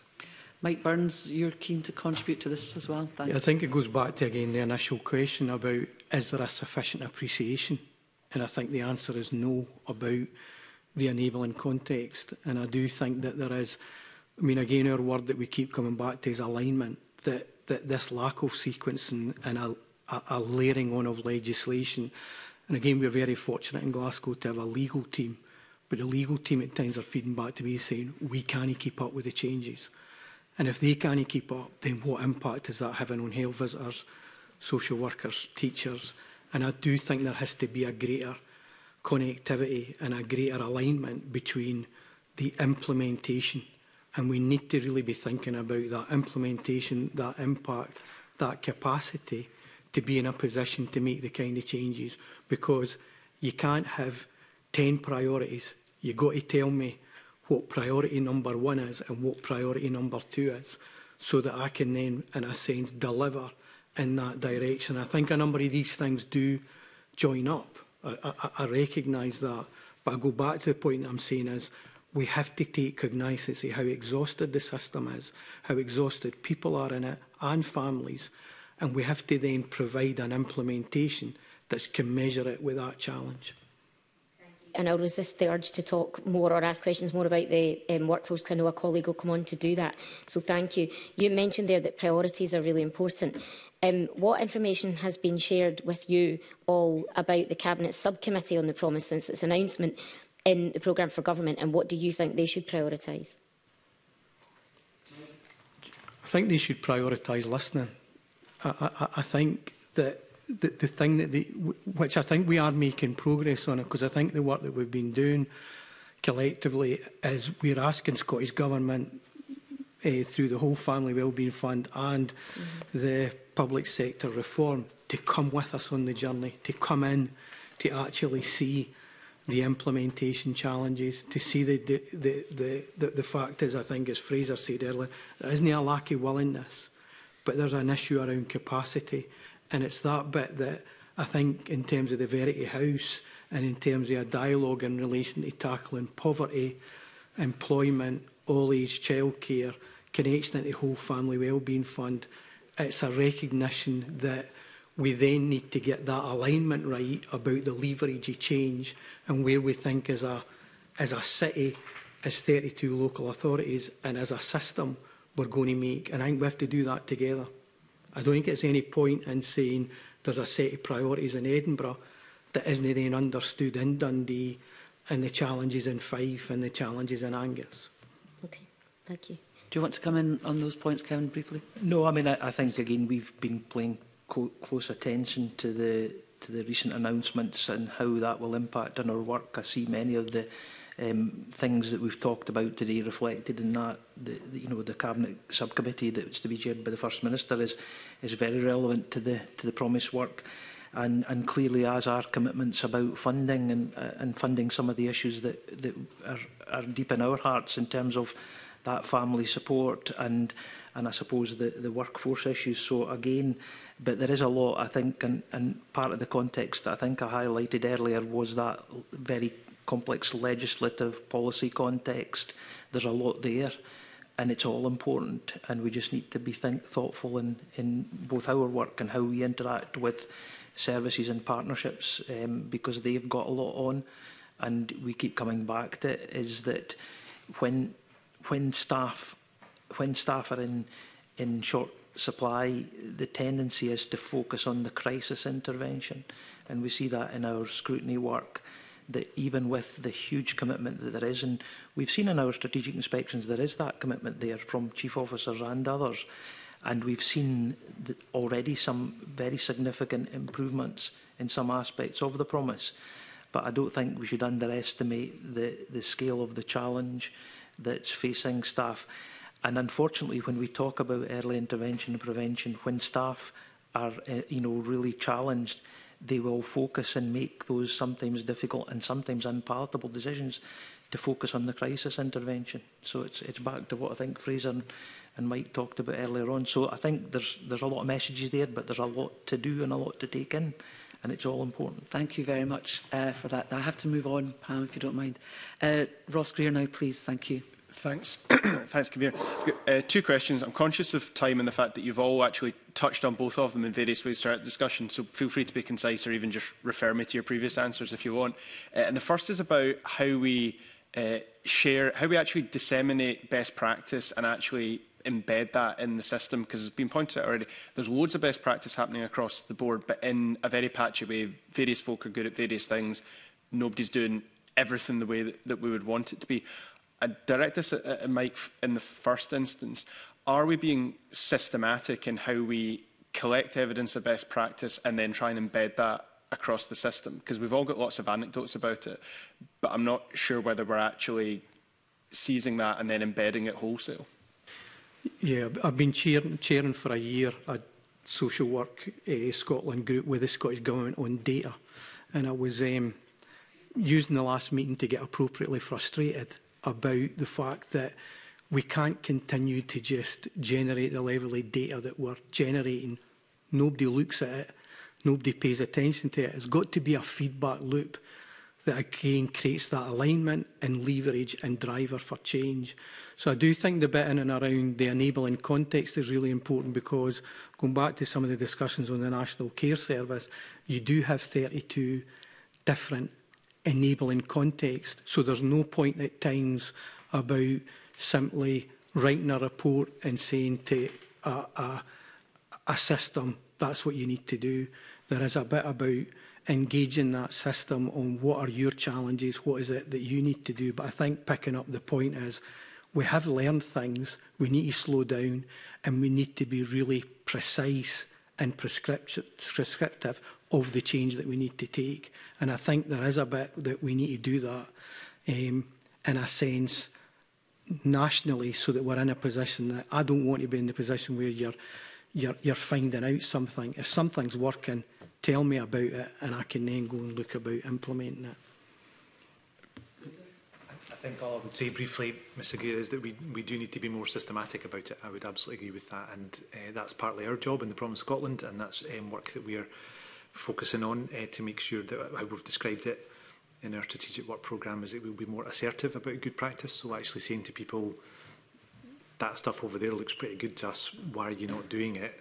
As opposed to a slightly more kind of letting a thousand flowers bloom approach up until this point, which I think has been good, but I think we're at a point now where we do need to kind of focus on, you know, from where I'm sitting, six and a bit years to go to 2030. If you've got a better idea, then what people in Highland are doing on a particular thing, then tell us about it. If not, why are you not doing that? Now, we don't have any powers um, to, to make people do stuff, but we can, I guess, change the tone a little bit. And, and, and obviously the care inspector and others have you know, good, good vehicles and mechanisms for sharing good practice in their inspection reports too, which we would expect people to be picking up on. So uh, the short answer is yes, I think we definitely need to be more systematic. And this next period, the next two or three years, is absolutely critical for that. But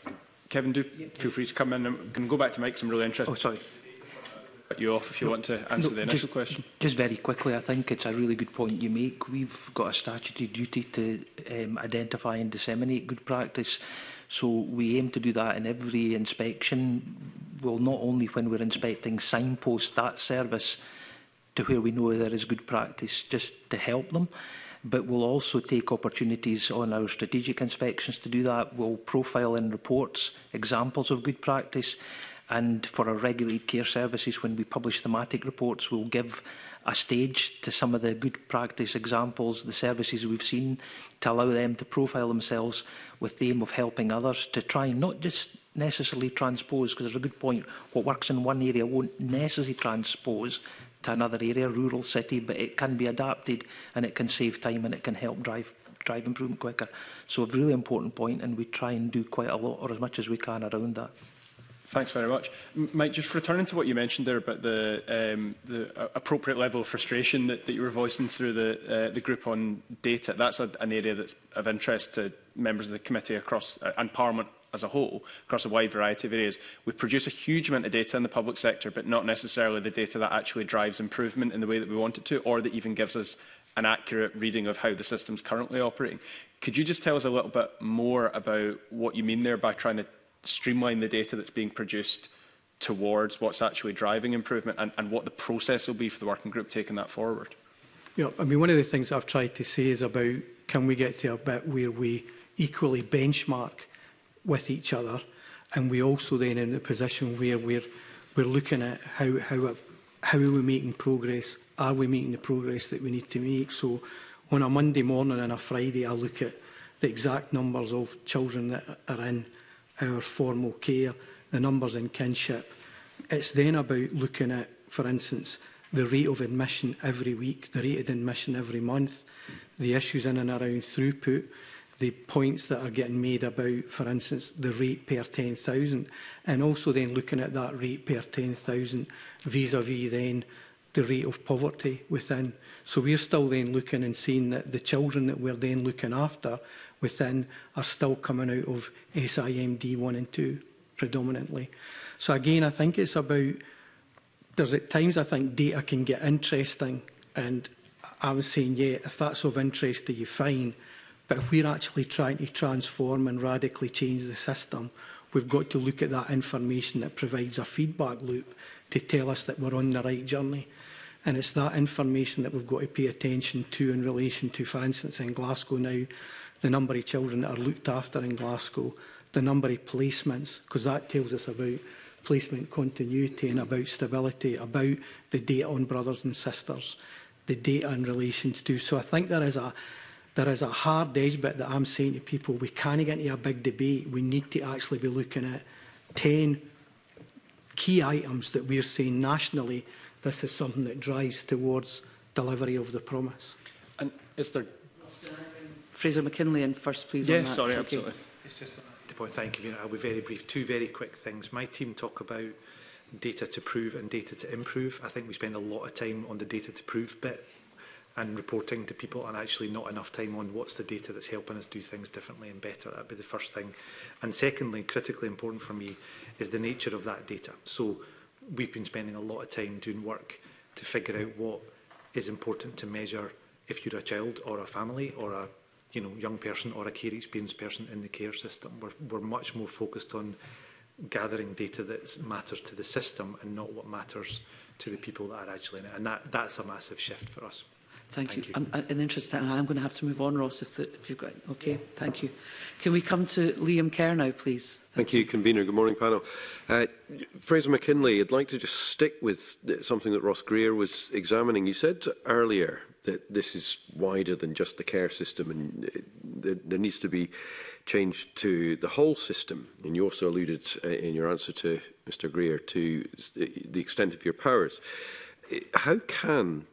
the Promise Scotland drive and help embed system change, given the extent of your role currently? And are there any tools that you could use that aren't currently available to you? So, our job is to challenge, to convene, to um, bring people together in, in, in ways that maybe they haven't done up until now to, to join the dots, as I've explained a couple of times, Mr Kerr, about ensuring that that good practice is being is being shifted. And and there's no doubt that it's a it's an unusual it's an unusual job that I've got, quite different to the one I used to have. Um, and it's one of the reasons I was excited to do it because in the end, this is a, this is about culture, I think, um, and leadership's critical, critically important. And there are organisations, not least the Care Inspectorate and others, who have the kind of, you know, the statutory responsibility to do the accountability bit. Um, I think what is really striking for me in terms of being in this job for a year and having been involved in the care review beforehand is that the kind of the moral credibility and legitimacy that the promise still brings with it is enormously powerful. It's very, very striking that um, people are very committed to it. The voices that were in the care review and continue, and you'll hear from colleagues in, from Who Cares uh, uh, soon, continues to be an incredibly powerful force for both holding the system to account for change, and I include Prom Scotland in that, and also then ensuring that the changes are right. So, um, so at the moment, I, I'm not looking for additional levers or powers. I think the last, to be honest, the last thing the system needs is another organisation with powers to do stuff. Um, as an organisation, we're committed to not being here by 2030. So we are publicly saying that the Promise Scotland will not exist um, by 2030 because once the promise has been kept, you don't need an organisation called the Promise Scotland. And I have to say that's been a very powerful thing because what that means is that when we turn up in places, the only thing that we are interested in is what needs to happen to keep the promise. We have no skin in the game beyond 2030 and indeed you expect the organisation to kind of um, you know begin to reduce in size as we get towards that. Uh, so that commitment to our own obsolescence I think is quite powerful actually and it does allow us to say things and do stuff that other folk in the system find a bit harder to do. I understand. Very grateful. Uh, Kevin Mitchell, uh, Fraser's just brought up the accountability bit, uh, as, as he called it. The uh, Promise Scotland's Plan 21 to 24 set out five priority areas, and earlier on, you, Kevin Mitchell, mentioned that that has been tough for various reasons that you gave. What changes has the Care Inspectorate made to inspection and regulation in line with Plan 21 to 24? And is anything further planned? Yeah, thank you, Mr Kerr, um, and for the opportunity to, to address that. We've done quite a lot, I think. There's always more we can do and there is more we will do. Um, but we've, as I, I briefly alluded to, we've really taken a number of six actions internally. We we have an individual who is full-time responsible for the promise work within the Care Inspectorate. So that was an initial commitment by the Chief Executive and that team was established in 21.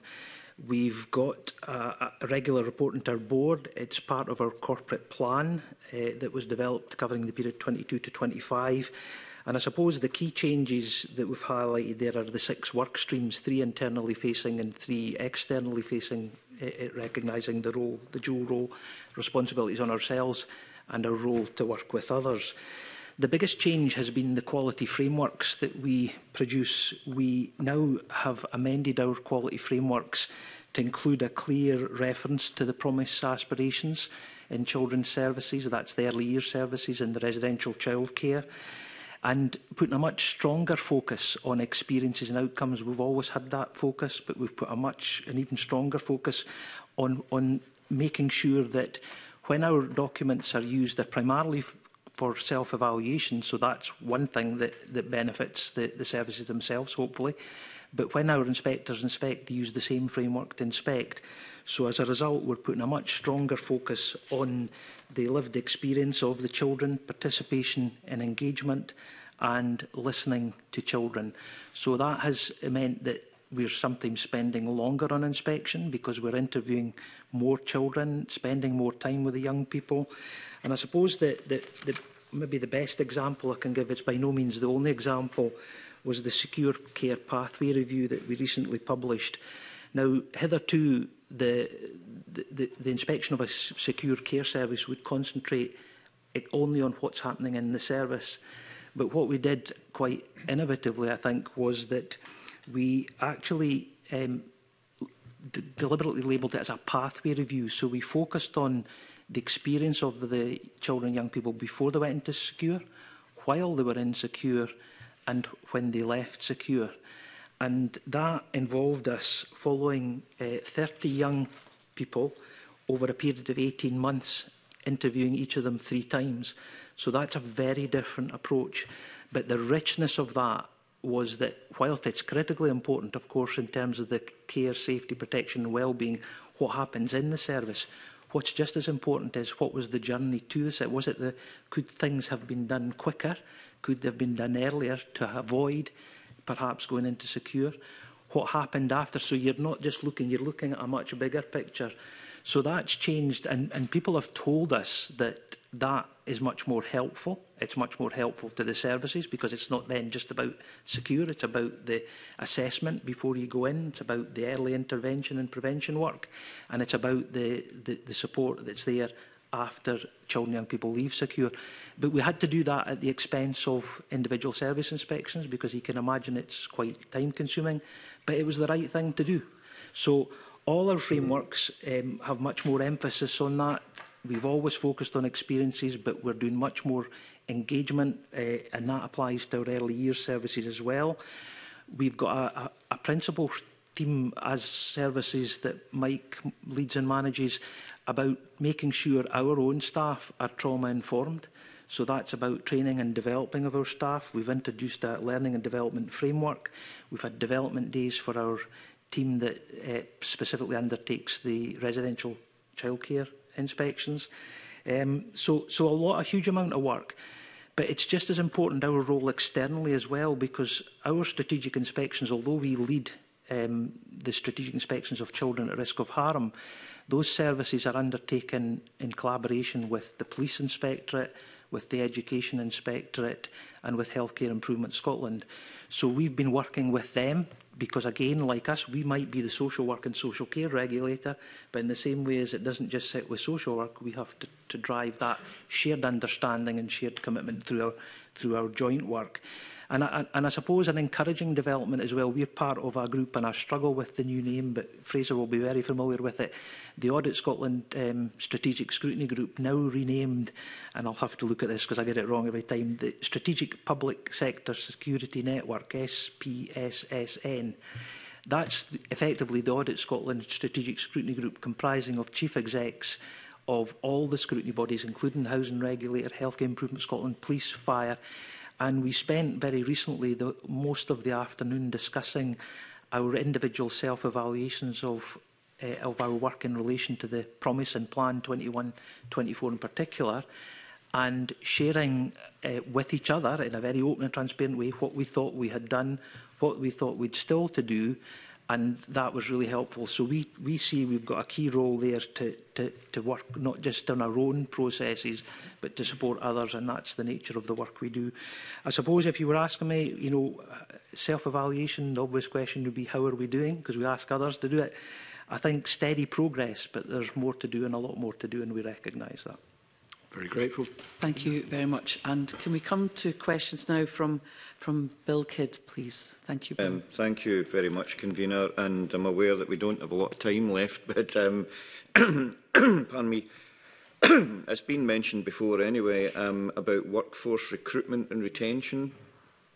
and uh, how obviously how important this is. Um, now, the Promise Scotland submission to the committee highlights the important role of the workforce in reforming the system. Um, but a survey published by the Scottish Social Services Council on the 31st of October this year found that all local authorities, bar one, um, were finding it difficult to fill social work vacancies for the very good reasons that um, there are too few applicants with the required experience or with the required qualifications, and also that the pay is less competitive than with other employers. Now, I, we are we are aware also that the, the Minister um, has said to us that um, workforce improvement plan is being developed and is due to be published in 2024. So just to ask, um, what involvement have yourselves um, and colleagues had in developing that proposal to move things to a better place, please? Mike Burns.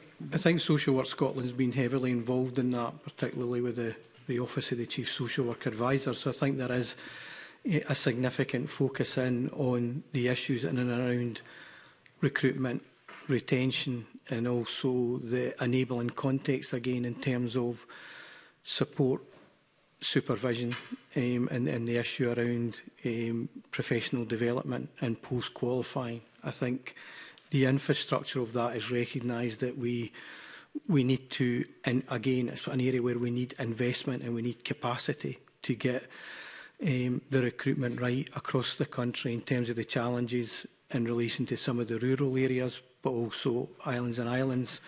And I think kind of looking at how we, in a sense, create the opportunity for people not only to be recruited in, but to be sustained in. So I think, I think again, I go back to the bit we've talked on earlier and touched on earlier is about saying we, we recognise that we will have qualified social workers and health visitors. We've got team leaders whose only experience has been the last four years and been in that pandemic. And I think consequently, we go back to the issue about we need to recognise the level of support and reflective practice and space and capacity that needs to go in to support that. And I think that that's something that we are really keen to work with the government on. Thanks. Anybody else, um, anything at all? Just, Mr Kidd, if I may say, I mean, you know, the government get advice from many people, I'm sure, as do, I'm sure, members of the committee. What we hope is that the advice that we give, which is based on scrutiny evidence, is, is helpful at least. And uh, just to, to reassure you that we take every opportunity to share with government not just our individual reports, but our collective assessment uh, of, of what that is telling us about the workforce and, and hopefully based on evidence so that we can back that up with evidence. And I think that that's hopefully valued and, and really important and I think it's a, a key role for us and we do that we do that at all levels of the organisation. Our chief executive, uh, Jack Irvin, will do that at her level. We do it with our sponsor branch and we do it uh, with various policy officials right across our portfolio, which is early years, children, young people, adults and older people. As you know, it's a wide injustice as well. So we take whatever opportunity we can, but we make sure it's based on the evidence, which we hope is more helpful so that it can be absolutely substantiated.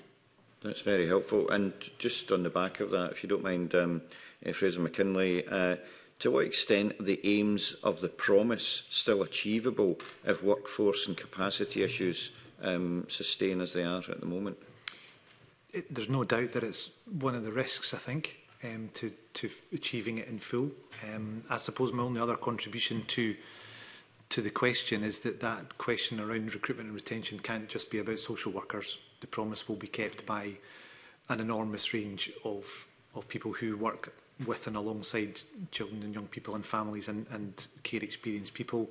Um, the promise itself takes a very broad definition of workforce um, and social work is absolutely central to that, but you don't grow social workers overnight. Um, so th that long-term work has to, has to happen. And we also need to think then quite differently about how services are designed, who therefore needs to be involved in those services to try and ensure that we've got the right people able to provide the right support at the right time. And that can't just be a conversation about, in inverted commas, the, the professions. Um, so um, I'm confident that those things can be sorted, given all the conversations we've had and given all the work we've talked about. And also, I guess I would also say that while we are right to be concerned about the pressures on the workforce generally, of the new things coming through. We should also bear in mind that a lot of these new things coming through are actually the things that will help. They are the solutions in the long term to the problems that we are currently facing. So there's also something for me sometimes a little bit about framing that we don't see all these things as a prob another problem that we have to deal with. These are actually the things that are going to make it sustainable in the long term. That's very positive and thank you very much for that. Thank you, thank you very much, Bill uh, Kidd, for that. And I would like to thank the panel for their time this morning and the evidence that we've heard. It's been uh, very, very useful indeed. And I now suspend our meeting for eight minutes to allow for a change of witnesses before we reconvene to hear from our second panel on this topic. Thank you.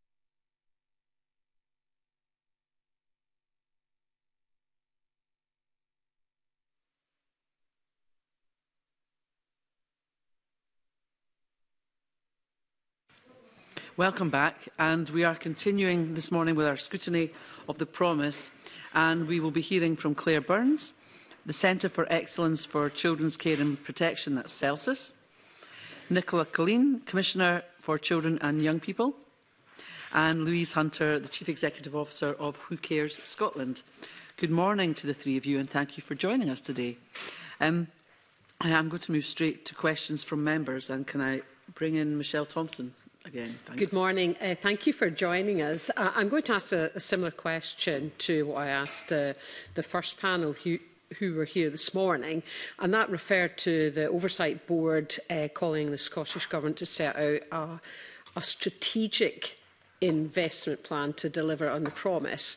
And what my particular question was, what specifically should be prioritised for investment given the chronic fiscal uh, shortfall that the Scottish Government uh, has and the nature of its funding. And I don't know if you were in earlier, but we had quite a lot of com uh, commentary around the complexity of that. And we also had commentary about some areas needed to be deprioritised so that others could be prioritised. And we had a long discussion about uh, capacity. Uh, but I don't know who'd like to go first on that, but I'm trying to get a sense of what we should prioritise, because we have to prioritise something. Clear. You go first yeah, thank that. you, Claire. Thanks, thanks very much. So I think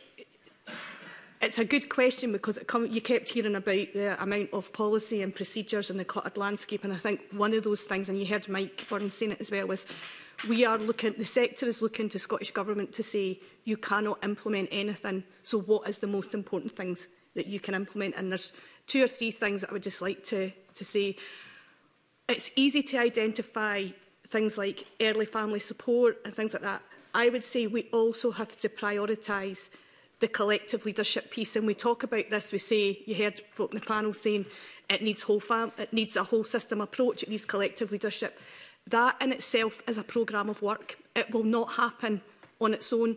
And I think we're really learning that through the whole family wellbeing element too, and we're learning it through our experience. So I would say if we want the promise to be implemented in the timescales, then we are going to have to put investment into that collective leadership piece. So how are we getting leaders in local areas together, people who have got responsibility for education, social work, social care, finance, commissioning, because they can unlock some of the barriers that we are that we're having and actually work with them to say what is it going to take to implement the promise. We need to shift the question to what is it going to take But what does it mean that your department is going to have to say and do differently.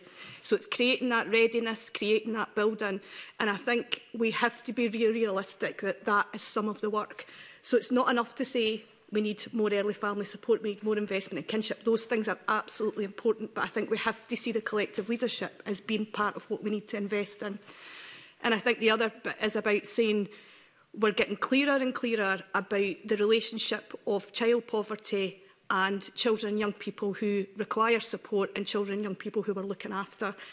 And we talk about leverage, but where can we, we can intervene everywhere, so where can we find places that we think will have the biggest impact on the biggest group of children and young people that will be preventative? So I think, can we focus in on the child poverty strategy, on the child poverty pathway, um, as those things that we think will be the most preventative and will be give us the biggest um, investment for children and families. So I think, again, it's, it's identifying those priorities. The other thing is whole, the um, whole family support. So that particularly around universal services, and the reason that I say that is that is what children and families are telling us all the time is, can we get the support earlier when we need it and can we get it through universal services because that is what is available to everybody and again you heard Mike Burns talking about the investment in health and, and how they I think they feel in Glasgow, they maybe don't have the data, but they feel that that's made quite a significant shift. So those would be the three things that I would identify. That's very helpful, thank you. And before I bring in, in Nicola, do you think there's recognition in government the scale of the transformational change from a leadership perspective that's needed, going back to your, your first point? I mean, this is this is really significant stuff. Do you think that's that's recognised? And you're right, there's a cost associated with that as well. I think we're making progress. I think we're making progress on that with, go with government and I think particularly uh, conversations that they're, they're really engaging with a number of um, local authorities, including Glasgow, about saying, what have you done and what have we learned and how, you know, how can we be on that learning journey with you? So I think we're making progress with them. I think it is a big challenge to all of us and not just government. It's a big mm -hmm. challenge to the sector to come to terms with the fact of what this will really take. It's not just going to take things getting into legislation and it's no just going to take training and it's not even just going to take funding because you've also heard that sometimes that funding goes to places. It will take a much greater shift in how we approach change and I think government needs to be on that journey with us but the sector including us need to be on that journey need to be on that journey as well. And I think one of the things, and I'll finish here because I know other folk will want to come in, is I think government's also beginning to recognise that you cannot just put the change out to local areas. They are a significant part of that change. So how are they on that learning journey around? How are we part of the barriers? How are we getting in the way? And how can we find solutions collectively to, tho to those as well? So I think how they are part of that journey with us is really important. That's very helpful. Thank you. Nicola, would you like to come in now? Thank, Thank you. you very much. Um, and as you know, I took office in August this year, so this is my first time giving evidence to the Children and Young People's, uh, uh, sorry, the Education Children and Young People's Committee. So I just wanted to put on record my personal support for the promise and my commitment to supporting children and young people with experience of care. Um, in response to your specific question, actually, I will echo a lot of what Claire has said. Um, I think that there is a significant focus needed now on that implementation plan but actually that absolute understanding of the collective leadership that's required across that. And what I did want to really flag is the vital role of the third sector within that. So there is a real need for a joined up approach from Scottish Government, local government, but that involves the third sector and seeing the leadership that they are actually delivering, often in the early intervention and preventative space. Often they are finding ways to connect with young people and their families earlier, and that needs to be acknowledged and really uh, recognised recognised within the strategic investment plan as well. So in terms of prioritisation, I would echo what Claire said around about prioritising that implementation plan with really effective leadership, but aligning that with strategic event in investment across the board, but also with accountability. So in preparation for today, I was really privileged to speak to some young people with experience of care, and I'll hope to draw on that throughout this um, session as well. But they were absolutely crystal clear that they want to see more accountability, but it has to be really meaningful accountability for them as well. Okay, Louise. Yeah, could I possibly just come in on that as well? I think Um, thanks, Nicola, actually, for that really important kind of like, link to care experience people, because I think this is maybe the first time in this committee that we've actually spoke about care experience people this morning. And um, just to give a bit of context before I come directly into answering the question, um, you'll see that behind me we've got lots of our members who wanted to come along today because this feels like the first opportunity for a bit of public scrutiny around Scotland's attempts to keep the promise. Um, just to give a bit of context about who I am and what we bring to the table today, Um, Who Care Scotland represents 4,000 care experienced people across Scotland. And care experienced people aren't a homogenous group. They're not just children and young people, and I'd like to touch on that quite heavily today. We spoke almost exclusively about children and young people, but actually we know the impact of care is lifelong. Um, our members share their views with us every day. We hear from them through our data, through advocacy, through events, through committees, through lots of different ways. And actually today, while it's me sitting here, um, I'm going to be bringing to you directly what those care experience members have told us over the past almost 45 years now, actually. Um, what that looks like to us is representing 1,700 care experience people, over 6,500 advocacy issues across 32 local authorities in the last year alone. Um, we consult our members regularly. We had an event last year called the Promising Me event uh, in summer 2022. And we also consult with them through our summer of participation this year, where we spoke directly to 200 care experienced people directly about the impact of the promise. So that's what I'm going to bring today. Um, I want to talk to you about how care experienced people feel about the promise, because I don't think we've covered that so far this morning. Um, I want to talk to you about the concerns about the unintended consequences of delivery, which have led to a real dilution. And I think some of that came across this morning in the evidence. I want to give you some examples of the progress which has been widely celebrated. We've heard so much about um, good pieces of work, but I'd like to ask the question today of how do we know this is good work? How do we know it's actually making an impact on the care experience community? Eh, community? Um, I think someone this morning mentioned the easier wins. I think we need to address that today and how the lack of engagement fundamentally with the care experience community to track progress and impact has been felt by them. So an answer directly to your question eventually. Um, I just want to say that if we're going to start talking about what we need to prioritise in the promise, we need to be really clear that Scotland agreed to keep this promise. We're now almost four years in. We've known about the issues that the care experience community have faced long before the Independent Care Review in 2017. It is 2023 we need to be in a position where we're not talking about what we prioritise moving forward. We're very clear that we need to completely keep the promise. And if there is a conversation about having to dilute some areas, that first and foremost needs to be had with care experienced people. I will take that last point as the most important and a lot of the areas you've covered I know other members are going to come in on as well. Thank you very much for that, Michelle Thompson. Yes, there is many of your points will be addressed with the themes. You, I know you were in for the last session, so you can see how the conversation developed. Um, I want to ask again about uh, the whole Family Wellbeing Fund and uh, what impact it's had so far and how might, if there has been success with that fund, how might that success be built upon?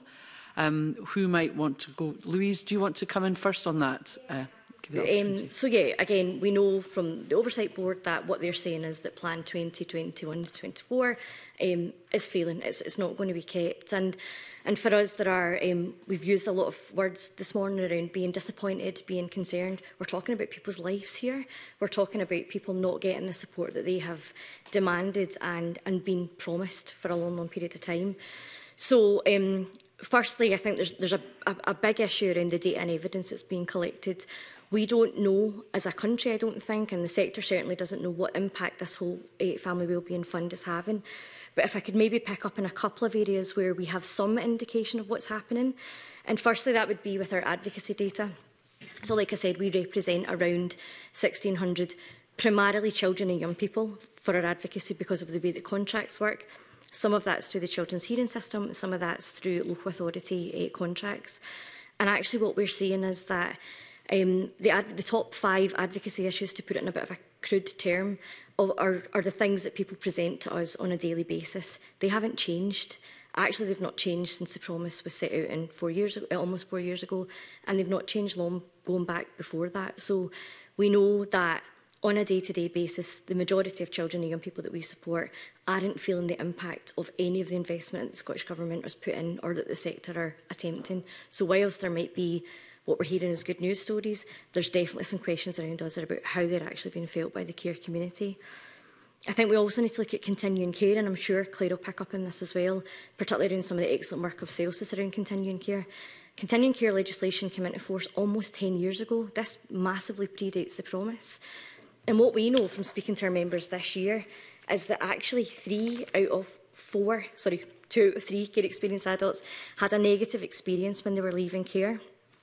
We heard from 200 uh, care experienced people across the summer, and for some of them, they said they weren't ready to leave care when it happened, uh, and several factors contributed to that. So what they've told us was that sometimes it happened too fast, sometimes it happened literally overnight, sometimes they left care and there was a lack of a safety net to rely on. Some of them said there were issues with statutory support services, and some of them said we just felt far too young. And actually, if we think about Um, what we know about when young people in general tend to leave home Research from Bernardo's in 2021 said that the average age of leaving home is 23, but actually research from Celsus has explained to us that no care experience people are asked to leave much earlier than that. They're, much, they're leaving care at age 16 to 18. And one of the most stark kind of examples of this I can give is when one of our members said to us over the summer, one day I was seen as an adult and when I was almost when I was seen as a child only a few days before. That's the impact of this cliff edge based on an arbitrary age cut-off. Um, and at the moment, we know statistics published by the Scottish Government for social work stats for 2021-22 have said that 49%, so just over 4,000 children and young people who are currently eligible for aftercare are not in fact receiving it. Um, we also heard this morning from the committee, or the panel, sorry, around the impact of disciplines legislation. We've heard that there's lots of great legislation behind that, lots of really good intentions and goodwill. Sounds like there's been a bit of investment around that as well. But actually what we know is we don't have that level of detail to say that siblings are being kept together. Um, Louise, everything you're saying is really, really coming from the heart and it is resonating with us. I'm just conscious that we're trying to... Yeah, no, of course. So can I, I maybe ask the other panel members to comment on the whole family wellbeing fund and successes it may or may not have. Uh, do you want to go first, Nicola? Yeah, I'm happy to. And I thought I would just bring in a couple of um, examples of positive examples that have been shared with me. Um, so again, when I met with young young people, I must say it was a small group and they can't be used to represent all of the um, you know, care experienced young people. But when I met with them, the positive shifts that they were definitely seeing were around about relationship-based practice and a real recognition for that the, and the positivity in terms of culture change of this having years ago being discouraged to maintain relationship with previous carers or social workers and seeing a real focus towards support and encouragement for that. They were also talking about the, the improvements in holistic recognition actually for them to have all of the rights developed, for them to thrive, for there actually to be support for their personal interests and their hobbies. Mm -hmm. But there's a really particular whole family support I would like to give an example of as well, and that's Aberlour's Intensive Perinatal Support Service. It was established in April 2021, based in Falkirk, provides support to pregnant women and new mothers who are affected by substance use and have a baby under 12 months of age. So the primary aim of this is to maximise opportunities for new babies to remain safely in the care of their mother through facilitating recovery from problematic substance use and developing and enhancing parenting parenting capacities. The women who are supported by the service are at high risk of having their children taken into care prior to referral.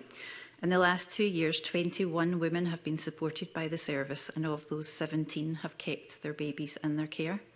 The majority of women were referred into the service during pregnancy, so this offers a longer period for building relationships, treatment, and care. I thought this was an excellent example that the earlier women receive support, the better the outcomes can be for them and their babies. However, I also chose this because I wanted to flag the fact, again, it's a third sector organisation. We need to ensure that we make the third sector a key part of the strategic investment plan.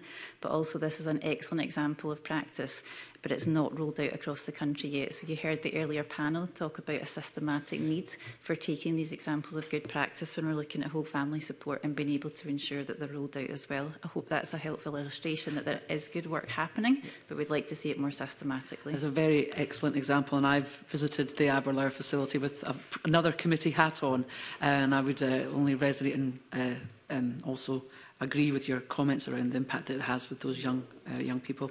Claire Burns, uh, perhaps.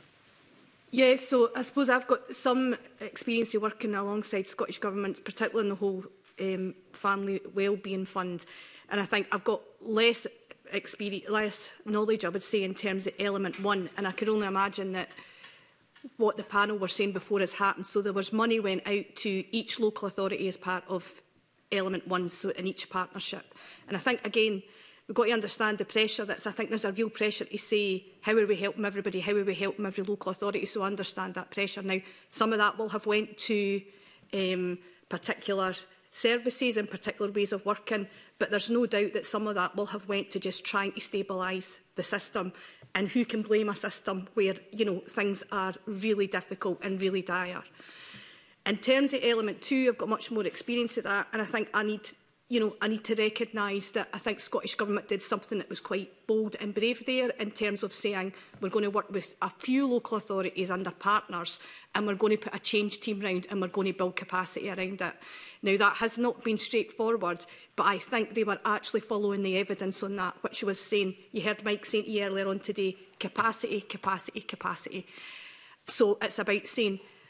How do we have skilled people and change methodologies who can help local areas and help them think through what's the first kind of change that they want to make? It's actually building some capacity to say, we understand that you are managing huge operational demands and at the same time we're trying to keep your focus on a massive change. And that needs the kind of skilled capacity of people coming in, facilitating that, helping them think through what the evidence is saying about the, the what and the why. And again, it has been challenging But I think what it's really helped us in Scottish Government and local leaders to focus in on is really what this is going to take. How are we working with leaders to get agreement and consensus about where we want to intervene in the system? And it's feeding right back into Scottish Government about saying, here's some of the things that's getting in the way. The amount of data that we're been asked for, the amount of recording that we're been asked for, reports that we're been asked for. So I think we're really learning what it is that's putting additional demand on the system that we can begin to think how do we take that demand out? So I think there are so there's some really positive elements of that, but I do appreciate that when money goes into local authorities, there are different ways that it's used and it may not always be focused down. What I will say, I think that's why it's important, as I was saying previously, and I know that Fraser's um, agreed with us, is we need to start engaging with directors of finance, directors of procurement and commissioning, because they are as critical to this transformation as heads of social work, heads of education. They hold the levers, they hold some of the powers. So, you know, I would really say that's it's about they are they need to be at the table alongside us. Thank you. And that evidence sort of reflects what we were hearing in the previous yep. panel as well. So it's yep. great to have that reinforced. Um, can I uh, move now to questions from Pam Duncan Glancy, please? Thank you, convener. Uh, good morning to the panel. I think it's still morning, yeah. Um, and thanks again for um, the information that you shared so far and also what you sent in advance. Um, one of the things that the Oversight Board says is that delivering the original aims of the Plan 21-24, and of course we've touched on this, um, is no longer realistic within the time frame. Um, Louise, you've started to set out the impact that, that, that it is having on um, young people and care experienced people, and in particular that these issues have been known for some time. So can you, what is your assessment of whether or not that, that, that is a true reflection and why that is the case? Yeah. okay, thanks for that question. Um, Yeah, of course you're right. The Oversight Board have set that out, and I think they've they've quite clearly said that they don't expect that plan to be upheld in full. I think um, th there are probably a number of reasons for that. And I think the biggest situation that we've got is we don't actually know. There's not a lot of data and evidence. And I think the Oversight Board actually state that themselves. They state that it's very difficult to know where we're seeing real progress. Um, one of the, the kind of mandates I have today is to share the information from care experience people directly and it's that they, they feel completely excluded from this process. So actually the care review set the bar for how to engage and, and how to make sure that care experience people had a voice in this process. But if anything, their engagement since, and those four years since, has been really quite patchy and inconsistent. And actually for the majority of this morning session, we heard um, quite a lot about you know the system and the sector and how things are really challenging. Fortunately, towards the end, we started to hear um, some real sense being spoken around actually we can only really measure impact if we speak to people that it's impacting directly. So that's really important for us.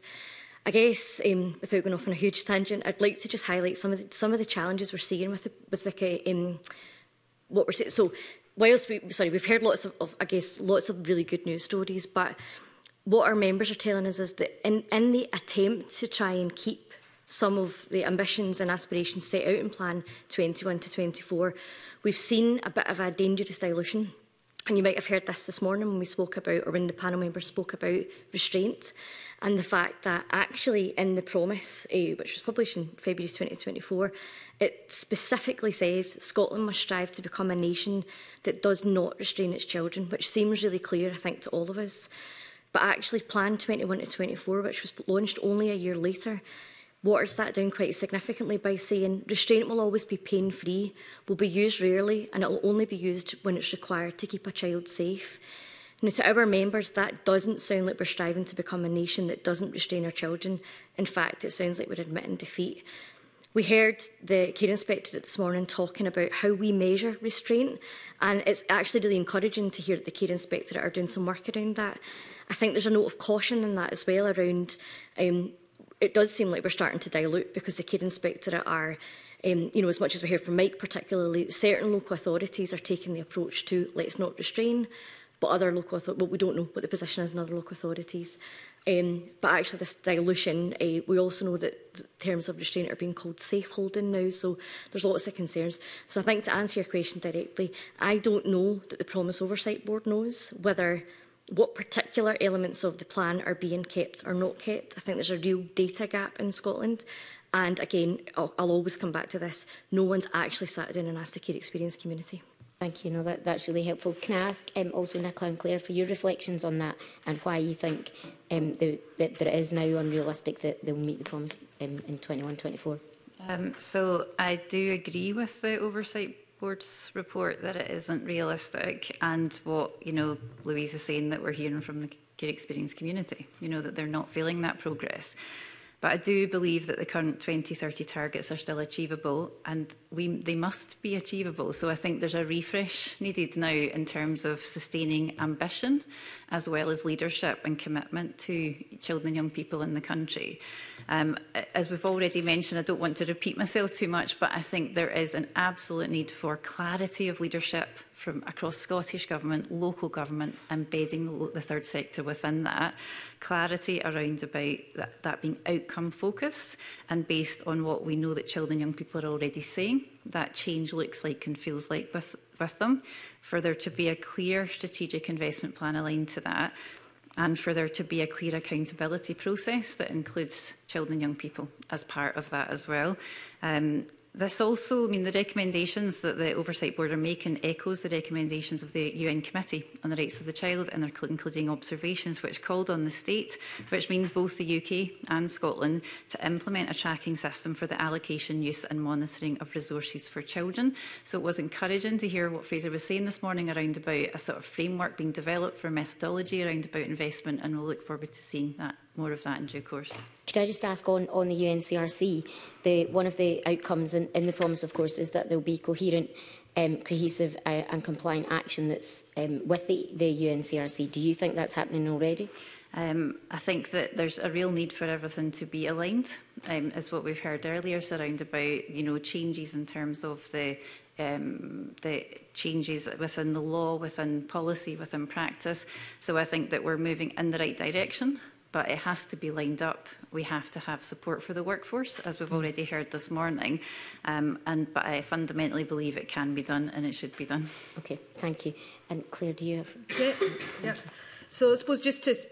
just to start off by saying we, we've just done a massive workforce survey as part of the Children's Services Reform Research, and what comes through really clearly on that is the workforce's commitment to the promise.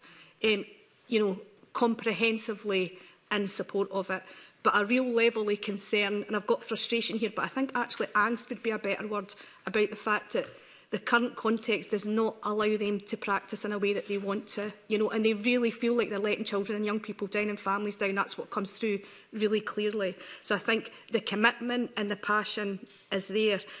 I think practice is restraining. So I think because the lack of the lack of investment, I think they feel that they can really, when you've got such limited resources, you can only reach the top of the top of your priorities and your mm. statutory responsibilities.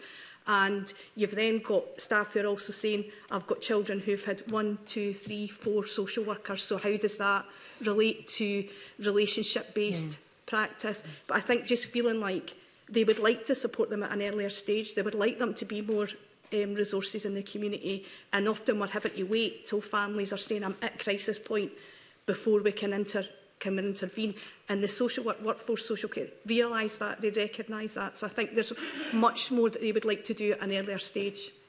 for families. And I think that sense of letting families down is bearing really heavily on them at the moment. Um, I think we heard I think we heard really clearly from Fraser this morning and from others about the fact that part of the context of not meeting the promise is COVID. It's about what's happening with our workforces. I think we're right to not expect our workforces to be able to meet operational demands and do a massive transformational programme. Our current level of workforces cannot do both of those things. But I probably have a different view from Fraser in that I think what is, what is also around in that is our approach to change.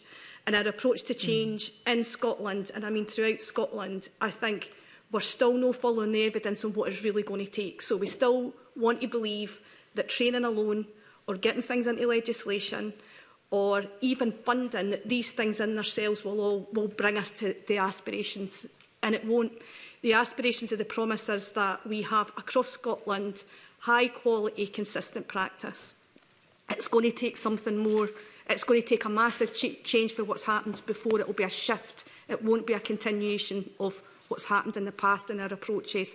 It's going to take, Mike was saying to you, it's going to take capacity. And that means people and it means money. And, you know, because, and again, I would ask you to just have some caution. There can be a sense at times that the money's in the system. And I think in some ways the money is that's right because if you look at Mike was talking about the figures in Glasgow, they realised that what they were spending on care was massive compared to what they were spending on prevention. Now, that tells you a certain something and it motivates you.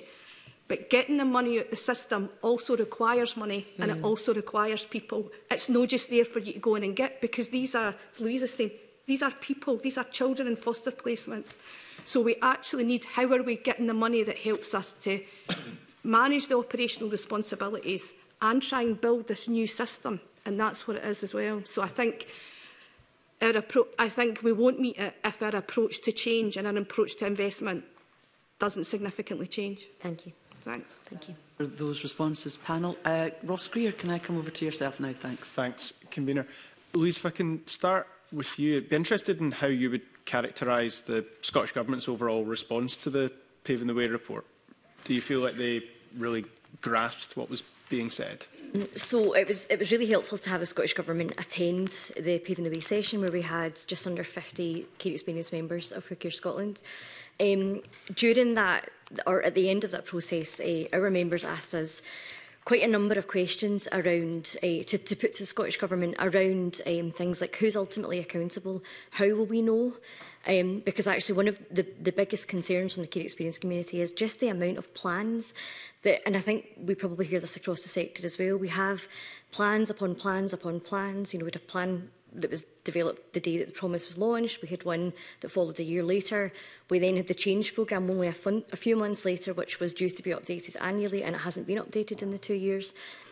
Um, so paving the way was a real a attempt at us to bring together the care community and see how are you finding all of this? What are you feeling on the ground? What's happening? What's changing in your lives?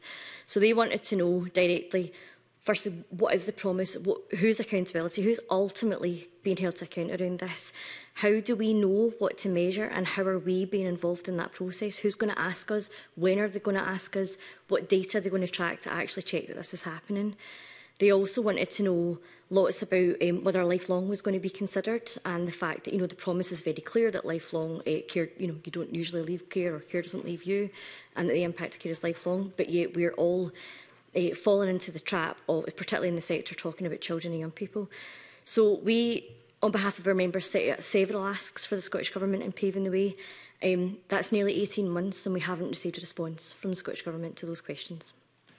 Uh, that's concerning but good to put on, on the record and something the committee will be able to, to raise with the government. I, I presume you've had engagement from the government in other spaces over the last 18 months. It's not, there's not been zero engagement, as much as it is critical that you get a response to that, just yeah. to check that they have engaged with you in other contexts. They have engaged. Yeah. Um, Who Care Scotland has a, a place on the, I guess, to bring the, the voice of care experience people as part of the Promise Collective, albeit that,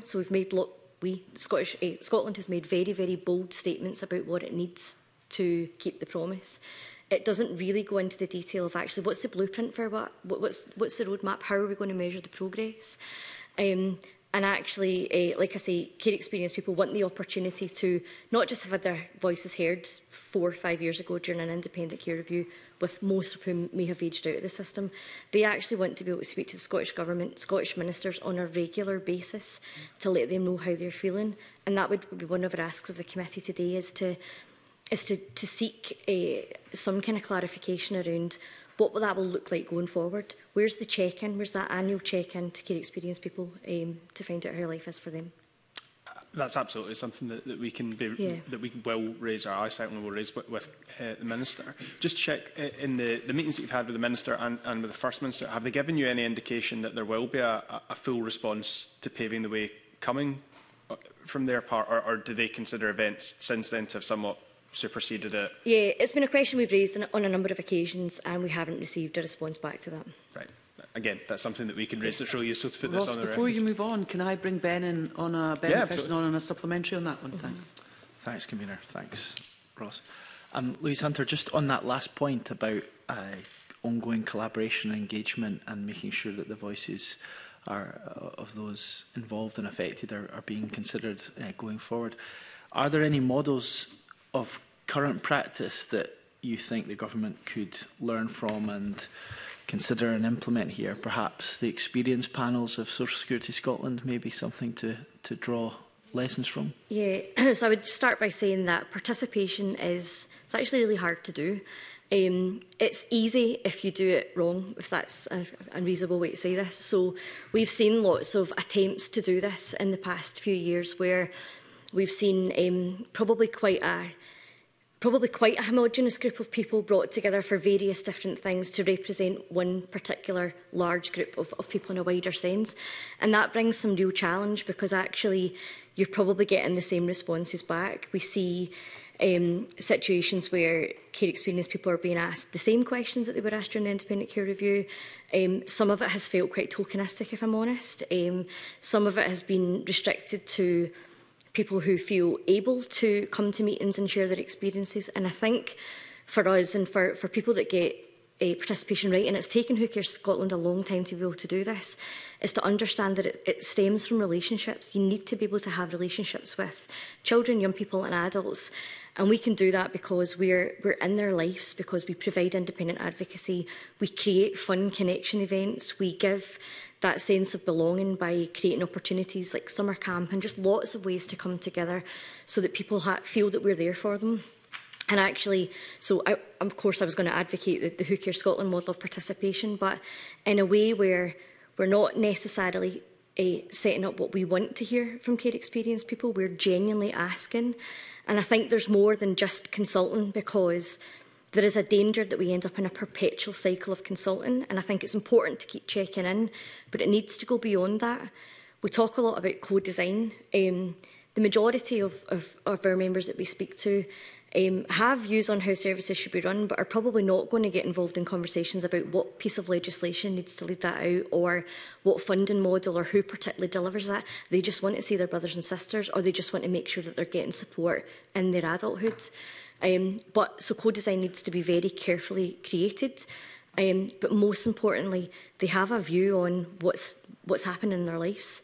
Um, and I'm not sure at this stage, well, in fact, we know people aren't being asked. So I think we need to think about participation as being relationship based um, with an organisation that what has those relationships, ensuring that we get the widest possible representation of the care community um, across the length and breadth of Scotland, across lots of different ages, lots of different care backgrounds, lots of different experiences. Um, and also that we're not just asking them to repeat what we already know. It's more about how can we move forward and not necessarily how they're going to change the system, because that's not their responsibility, but how that system change or efforts to change the system impacts them directly. Ross Greer, back to yourself. Thank you for that. Thanks. It falls on quite neatly from Ben's question there about that um, consultation, co-design and, and engagement. Um, and uh, as you say, Louise, not everybody in the care community is going to want to be engaged at, at a national level when it comes to questions of policy, legislation, etc. But again, looking for examples of, of where there is good practice, I mean, are there even any local authorities or more uh, other public bodies who are doing engagement within their sphere and within their remit who are actually doing that well that we could draw on? Again, I think there are lots of stories of situations where that's happening. So we know that there are, um, lo most local authorities will have something called a champions board or something similar to that. Some of the language has been rephrased around um, promise delivery boards or, or lots of different ways. And again, they will likely bring together a group of mostly children and young people um, and mostly quite small groups.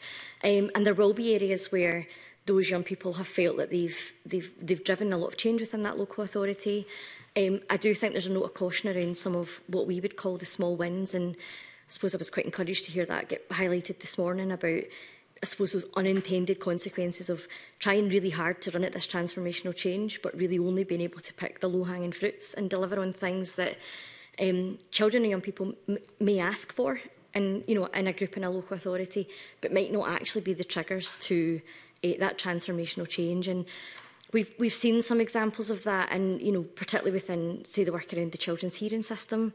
So we've known, again, for decades that the children's hearing system isn't quite fit for purpose. I don't think that's a surprise to anyone. And what children and young people have told us and told lots of other organisations is that it feels adversarial, it feels um, like they don't know who's in the room. They want access to their rights because we know that the vast majority of children and young people don't have access to independent advocacy and maybe don't know. You know, we heard this morning they're not actually sure whether they have rights to see their siblings. So they're asking for all of these things. And what they're being told in a paper that I've seen is that where possible, these things will be offered. It feel it doesn't feel like the kind of strong words that we want to hear and the strong commitment. The, the where possible is a bit concerning. But most concerning is what we're seeing is lots of pilots, which we know everything has to start somewhere. But again, this isn't news to anyone in this room that these things have needed to change. And the fact that we're four years down the line and still in really small areas piloting things. And if I can give you a couple of examples, we've seen situations where young people have been asking for all this transformational change within the children's hearing system, but what they've been told at the moment and what they're even being led to celebrate as success are things like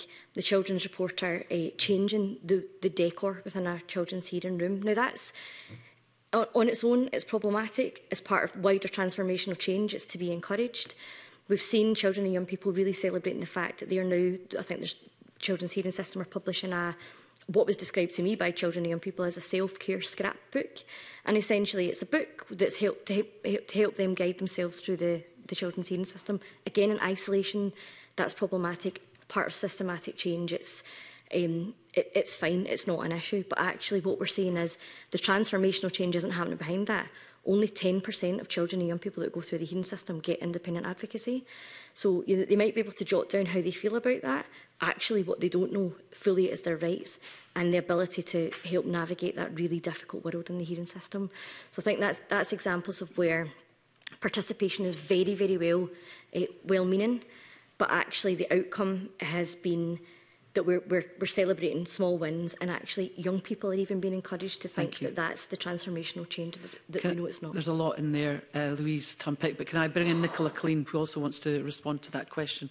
Thank so you. I just wanted to almost pick up the point but reinforce something that was said earlier. Um, there are great examples of participation work, and I think, again, it's a culture shift across the country of how we understand that. But actually, I don't believe we need more participation to answer what young people are asking to be answered. You know, they're actually saying, who is accountable for this?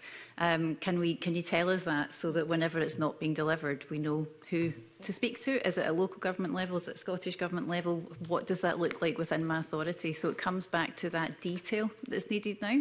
And I think a really effective communication strategy as well to make sure that children and young people really understand where things are at, who they can talk to about it, and actually who they can hold to account as well.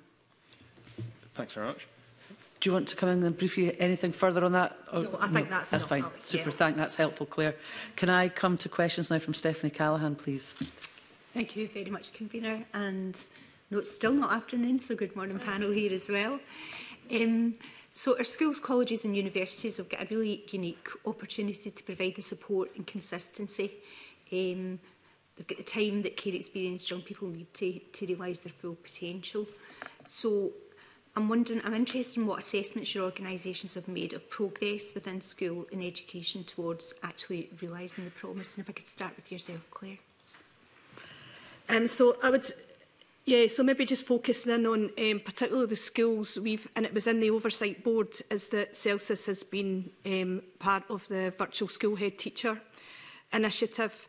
And, um, and I think we're seeing some some successes in that. And just if people don't, just in case people don't know, that is about you know, a, almost a kind of head teacher who is not in a school but is doing the same functions and responsibility for children and young people who are in their area um, who are looked after or uh, looked after and accommodated. So it's that kind of razor sharp kind of um, focus on those young people, being able to advocate for those young people. So again, I think that's something that we would say we're seeing some progress on and is making um, quite a significant contribution as well.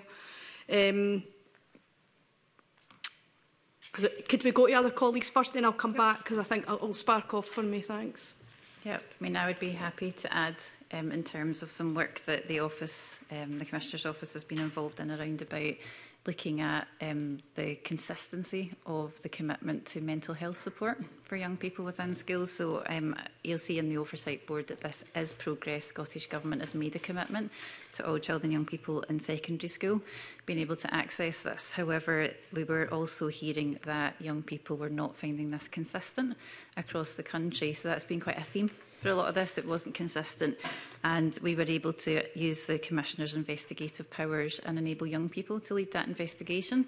Um, so again, this is where our approach, we're not a scrutiny body, particularly for the delivery of the promise, but there are key changes and reform and improvements that are happening where when we're hearing concerns raised by children and young people around about that, we've been able to either investigate or work alongside partners or campaigners within the sector to be able to highlight that. And again, we've made a number of recommendations um, for the Scottish Government to be able to, we're, we're still waiting for a response on that, but about how that can be better assessed ongoing to see ensure that there's consistency and also for children who are younger to be able to access that in primary schools more consistently as well.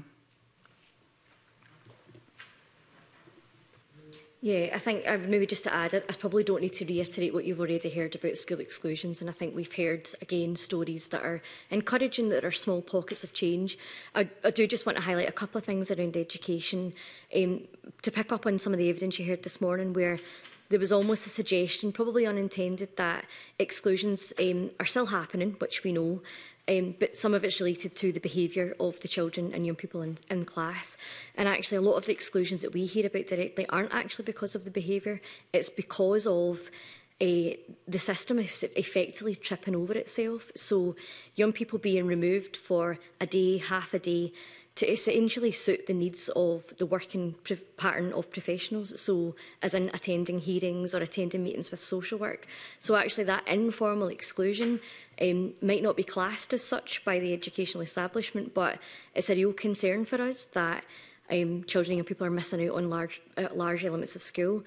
I would also highlight something about stigma, which is, is not really been touched on. It's certainly contained within the promise but it's really quite prevalent in some of the challenges that we're seeing within education, where children and young people um, who are care experienced invariably are feeling like something's a bit different um, and that can happen in a lot of different ways it might happen because they are getting picked up or dropped off by taxi the taxi might have the livery of the local authority on it it might be quite obvious that their lives feel or may look a little bit different to the lives of some of their peers um, now that's a challenge But actually, it's less of a challenge if the school community in its entirety, so I'm not just talking about teachers, about all the support staff, if they understand care and they understand care experience and they think about even things as simple as changing their language so that we're not always just talking about mum and dad or parents and and that there's a bit of an understanding where people can really understand what care is then we're much more likely to create the conditions for care experience people to feel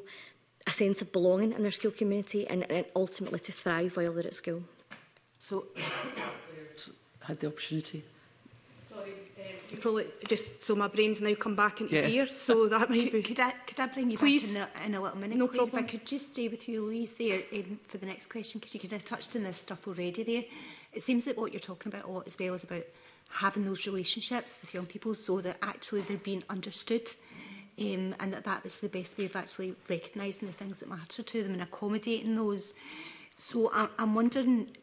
to what extent you feel that education is taking the taking into account the views of care experienced young people and does there almost need to be some kind of process there that means that all all young people in schools get an opportunity to actually provide feedback on how they're feeling about their own experience?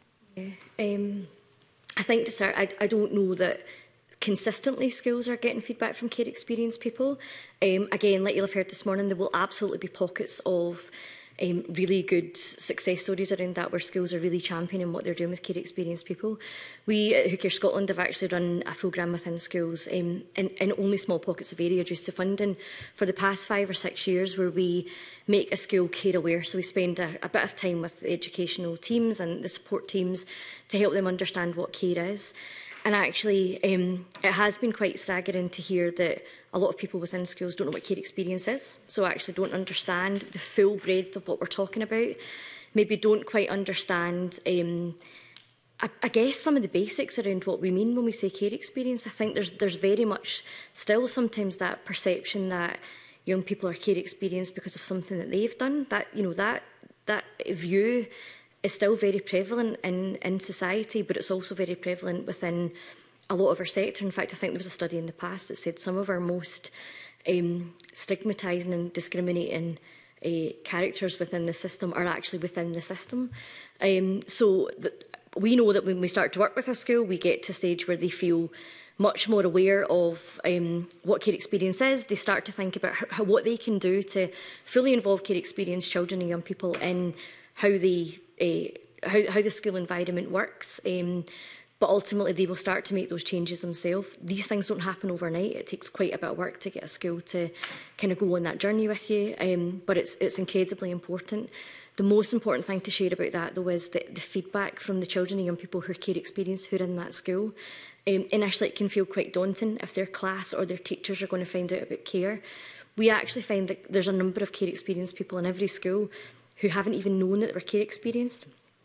And when I first heard that, I thought, okay, so what does that actually mean for somebody? Are they getting this revelation on the day that they're care experienced?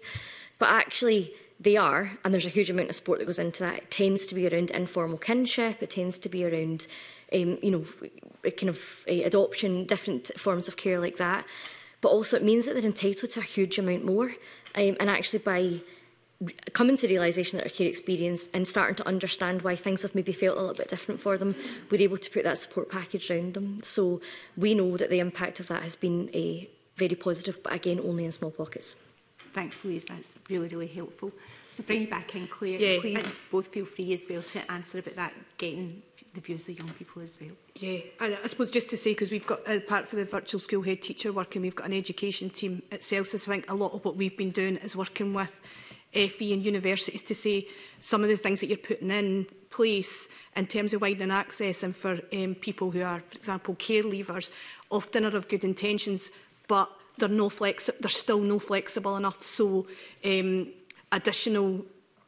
um, additional funding that can be sought but it needed a confirmation of a particular level of attendance. And then when people were falling just below that attendance, they were losing it.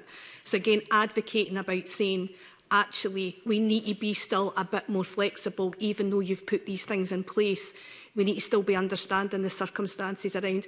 We've been work, we worked with the universities, particularly during COVID, around saying you have got young people are living in your accommodation who don't aren't going back to a family, who aren't going back to, you know, loads of people went home. So actually really getting them to understand they've got people in their accommodation who don't have families to go back to, don't have families that are supporting them. So how were you responding? How were you responding to that? And again, an example of where we had a care leaver who has, you know, had being a social worker, then went back, did a law degree, became a... But actually she was saying there was loads of things if she was under 26.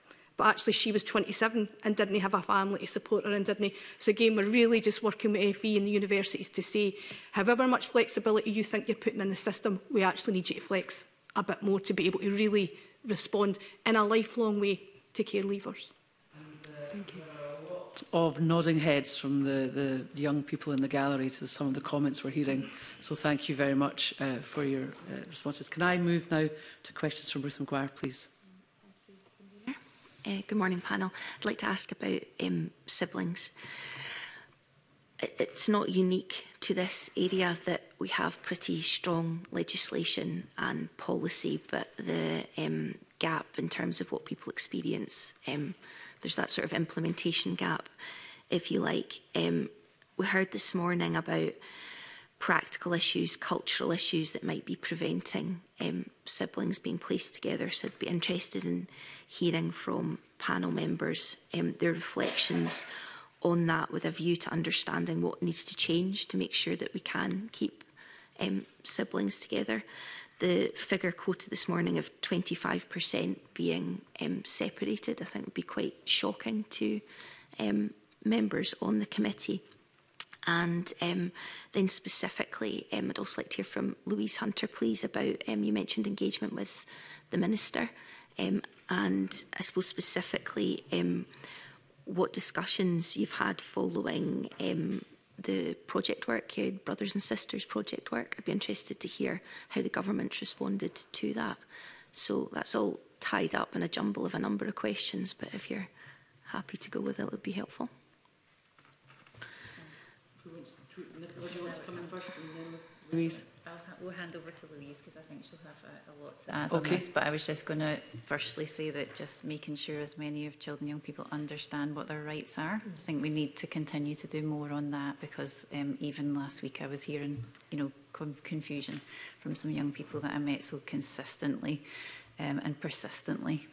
continuing to support our young people to understand that. Louise. Yeah. I think just following on exactly from what Nicola said there about um, about knowing their rights. And I think that came across really loud and clear this morning that actually quite a lot of care experience people don't know that they've got their rights to see siblings or, or even what that definition is and how, how that could impact their life. And I think uh, you know, it, it's worth being aware that again of that statistic that the current financial modelling and, and operational modelling of independent advocacy within the children's hearing system is based on 10% of children and young people. So that means 90%, I'm sure you can do the maths, of children and young people going through a children's hearing system don't have access to independent advocacy. So if you don't know at that point what your rights are, um, despite opportunities to have redesigned leaflets and, and lots of other ways that we try and tell children and young people what their rights are, But also, if you don't feel empowered to share that in a room, if, particularly if you've already told the system through lots of consultation and committees that um, you don't know who's in the room. It, you know, it does feel quite jaggy and adversarial. You don't feel like you've got a right to be there. Sometimes you don't go because you're quite scared of being as part of the children's hearing. So I think if we can just impress on that, that need for real, tangible, independent advocacy. Um, and I guess I, I can't uh, give you any answers today about what the barriers are or how we can overcome them. I think we, we know what the barriers are. We know it tends to be financial. There, there are some cultural barriers.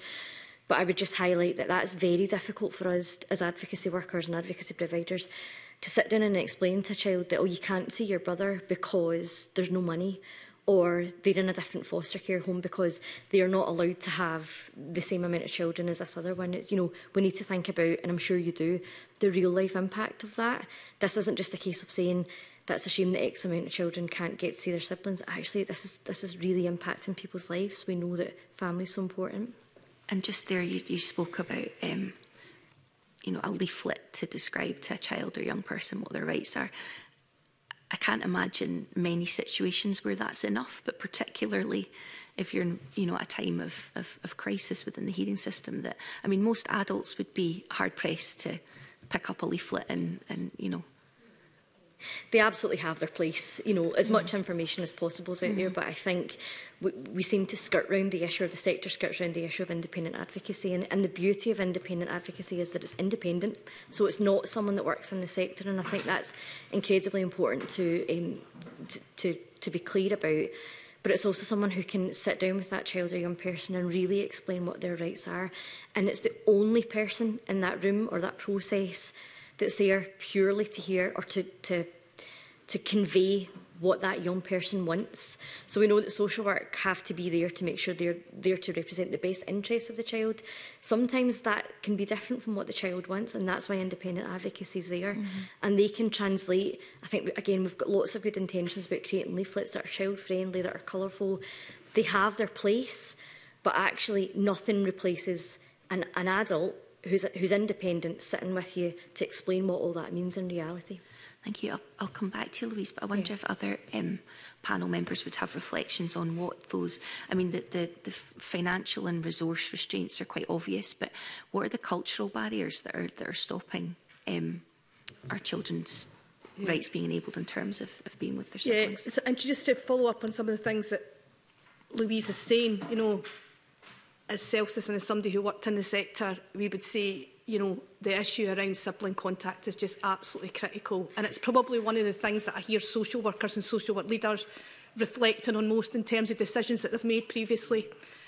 in their careers about not keeping siblings together and not keeping that contact. And I think we understand more and more the lifelong impact that that has. So I think, it's a, I think there's a real recognition in the sector um, that that is important. I think Louise is absolutely right to raise the issue around um, independent advocacy because I think one of the things independent advocacy can do is it slows the system down to say let's really think about the decision the system's just working you know at such a pace I think that's one of the things it can do Louise is slow it down and really think about asking those questions um I think some of the things that I think it is financial I think um, we also, and I'm sure everybody here would recognise this, it's about when it's safe to do so. It is not always safe to do so, and that should be in the minimum amount of cases, and there should be an assessment about how it can be done safely. But I would also say that we need to keep that we need to keep that in mind. The other thing is, and I'm glad Kevin's left. I hope Kevin's left when I say this, is that There's also an example how the system actually works against each other at times. So we've talked about how we can the, so the number of children that foster carers can take to ensure that we can accommodate sibling groups. But at the same time, we've been talking about how we reduce the numbers in residential to sometimes four. Now, again, I can see that the motivation for that about smaller units are good, but at the same time as the systems thinking about how we increase the numbers for foster care, we're thinking about how we decrease some for residential. I think without, with, and there might be consequences of that as well, of sibling groups going into residential. So I think I think it's financial, but I also think it's cultural, and I think it's about how this, we need to think about this in a really holistic way. Thank you. Nicola, did you have any? Nothing else to add. Okay, uh, Louise, can I come back to you then in terms of, you know, we've spoken about accountability. I suppose ultimate accountability for legislation um, lies with Scottish Government ministers. So what interaction have you had or has Who Here Scotland had in terms of this, this, yeah. this topic? Thanks for asking that question. Um, So we were really pleased uh, over a year ago to be contacted by the Scottish Government when they were reviewing the, the guidance around siblings legislation and um, brought in to design some participation with, with children and young people. And I think, again, not to blow our own trumpet and hook your Scotland, but Um, when asked earlier about what good participation is, it's when organisations like us can design it and we're not told by the Scottish Government or local authorities what to ask children and young people. So that felt like a really good opportunity to work with a broad range of care experience, children and young people primarily, who, um, who had live issues around access to their siblings, positive and negative.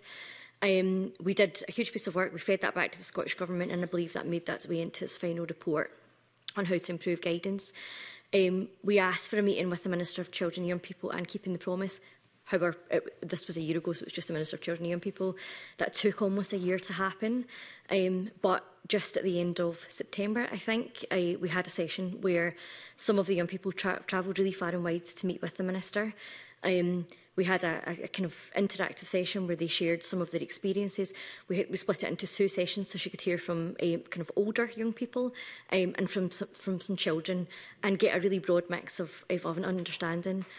At the end, she briefly shared what her reflections were, and, and for, for us, what we heard was that it, um, it brought the, the issue back to her attention, I guess, um, that it became quite a live issue for her again, and she restated her commitment to making a change. Okay, thank you, that's helpful uh, super stuff. Can I move now to uh, Willie Rennie, please?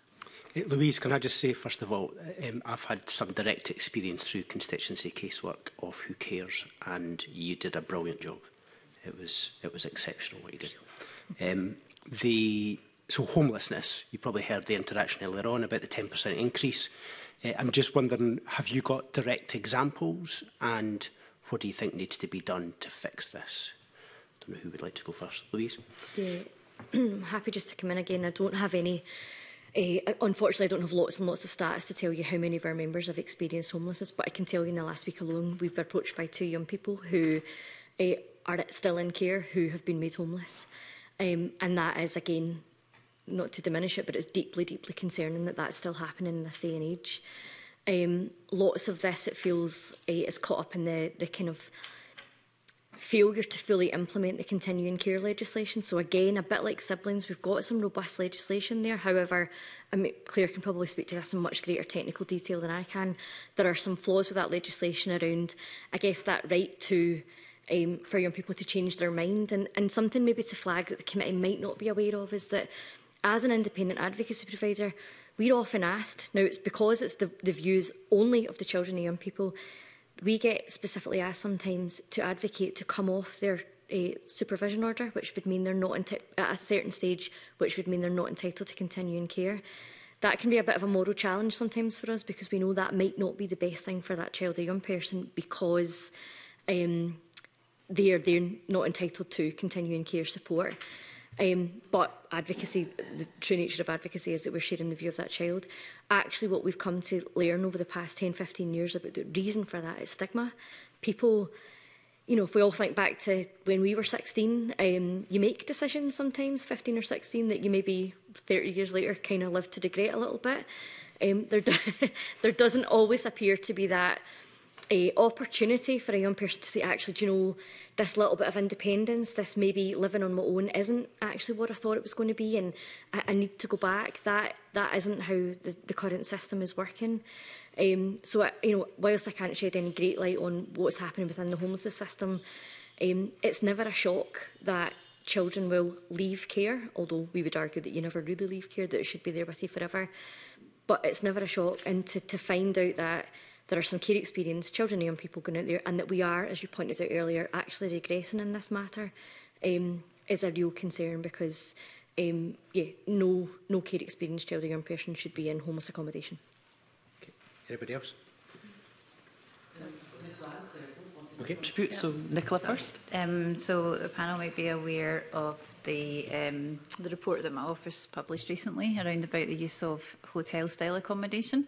So within that, there's a there's a wealth of information and evidence around about that, not just being for um, asylum or refugee young people, but homeless young people in Scotland as well, and concerns around about the use of really inappropriate accommodation for those young people as well.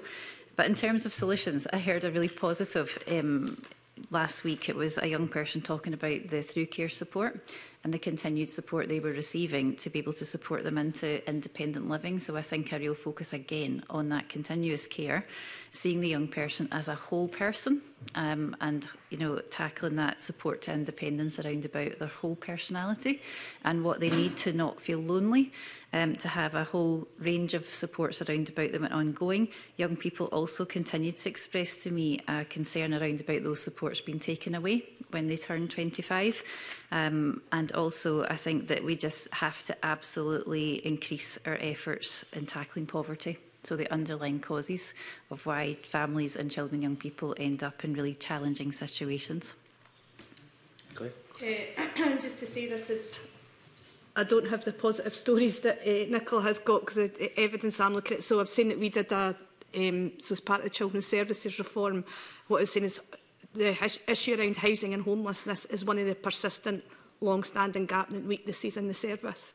But I think what we would all recognise as well is that it's, it's an accumulation of these weaknesses and gaps. So we're saying we've got really, we've got massive issues around access to specialist health services, particularly mental health services, that will, you know, that will influence homelessness. Levels of poverty amongst um, particularly care leavers as well.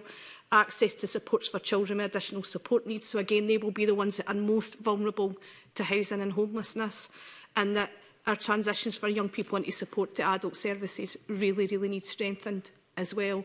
And I suppose the one other thing I'd come, I'd come back to, but people will be aware of this, is when people leave, so when we've got care leavers, when they actually leave the system for a period that Louise is talking about, anybody who tries to get back into any kind of health or social work system, it is impenetrable.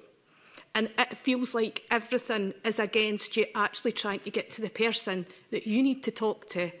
And so I think we've got, you know, many of you around here will have tried to get services for your own family and we've got, you know, people and resources and we've got experience you know, I really worry about what it's like for an individual young person who's a care leaver, who's trying to get back into a service, trying to get mental health support, trying to get... The system's impenetrable, you know? And so I think we're really... How do we make those... that access to services much easier. And I think it's just it's an indication of how much pressure's on the serv on the sector and the system that just thinks, you know, I'm going to make folk work really hard to get back into it. You know. Okay, thank you and that comment there, Claire, again resonates with work with the Health Committee did on mental health for young people and evidence that we took in, uh, regarding them getting through. So that uh, some cross work there. Um, I want to ask about something that is not an easy subject, and it was Ruth McGuire that brought it up in the last panel, and that's about really tragic cases of early deaths within the, the care experience community. And uh, it might seem a little bit brutal to ask about that. Um, but I wonder if maybe you can bring a bit more uh, sense to that, Louise, and what your thoughts are about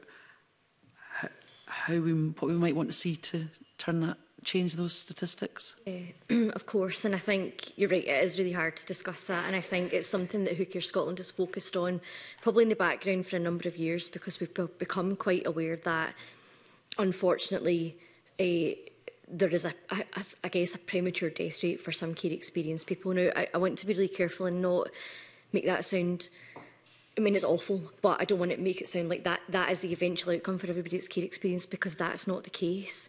Um, I think some of the challenges around that are the fact that we don't, uh, or the sector doesn't really provide any support on a lifelong basis. And again, as I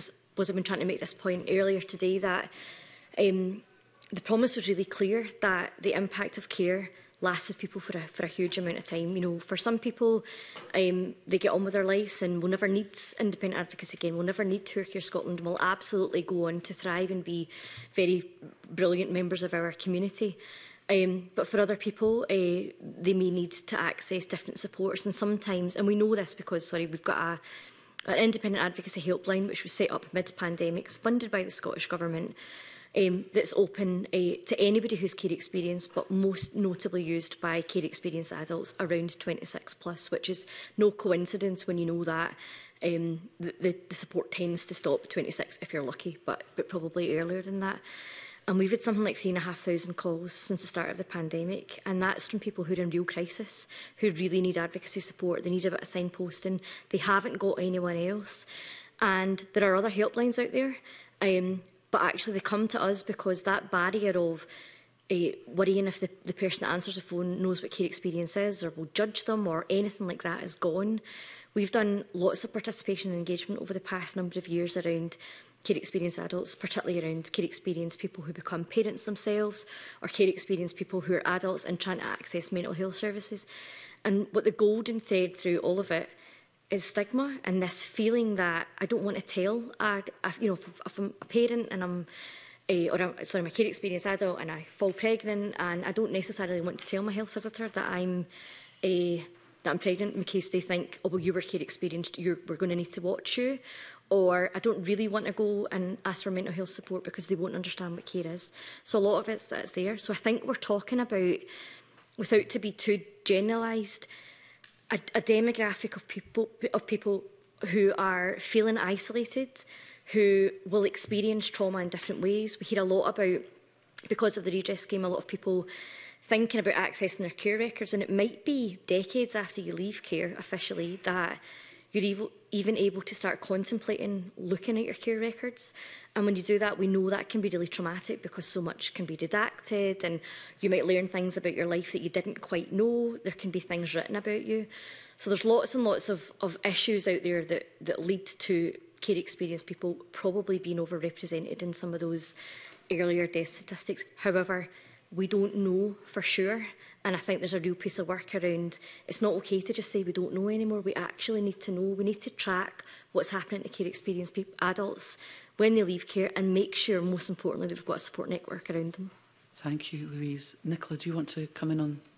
that? I don't have much more to add on that, but I think that no, when we saying we have to understand why. Okay. Yeah, mm -hmm. definitely. That's fine. Thank sure. you for, for that. And Louise, that's, thank you for handling that so sensitively. Um, Excuse me, can uh, I move over to Liam Kerr now, please? Yes, thank you, Convener. Uh, one quick question, just Claire Burns, on something you brought up earlier. You mentioned local authorities uh, several times. Now, the Improvement Service published a report in February this year about how local authorities are delivering on the promise, and it was something of a mixed bag. Uh, it suggested that there were issues around where delivery sits, the monitoring of progress uh, and uh, a suggestion that was driven perhaps often by external uh, considerations rather than children and families and issues with funding, especially around timescales. Can you help the committee understand why is this still the case, uh, or why is it still the situation at uh, local authorities, and who needs to step up, and what can meaningfully be done? So I think, again, it's probably a combination of a number of things that you've, that you've heard today. So I think, you know, we're, local authorities are being asked to implement a massive transformational change agenda with the poorest conditions that we've had. So it would be a massive challenge anyway. But given the conditions that we've got around workforces and, um, and also the lack of investment, and we also have to take into account there are We've had years and years of public sector cuts. So I think we've got a real tension and a real contradiction in our system that the very things that will help us to meet the promise, which is early help, support for universal services, family support, are all of the services that have been eroded out of our, out of our system. So it's almost like we're starting, we're starting again almost on building those functions and those services up at a time when we don't have the money. So if you think about something like we've, we've been hearing again through our survey that, um, you know, Sure Start is something that we need. And we're saying, well, actually, Sure Start is something that we had and that we lost the funding for. So I think, you know, we are starting, we are starting from that point. I think I go back to the, I go back to, you're saying what can be done. We need it to get in and around leaders at a local level build their buy-in for the promise, build their consensus around the promise, build their understanding of what is happening locally, and that includes how are they, how are they um, connecting with frontline staff, with children and families to hear what is going well, because there are, there are usually strengths and things that are going well, how do we build on them, but actually hearing where is it really difficult to get services. And then we need to help them think about, so where do we intervene? And I think the bit that we often underestimate is the promise means building new functions and new services and systems that will take money and take time and take investment. But I think if we can start with if we can start with those strategic leaders and build their buy-in and their consensus and their alignment to the promise, what is it going to mean for me in finance? What's it going to mean for me in health? I think that's the real foundational piece that we need to get right.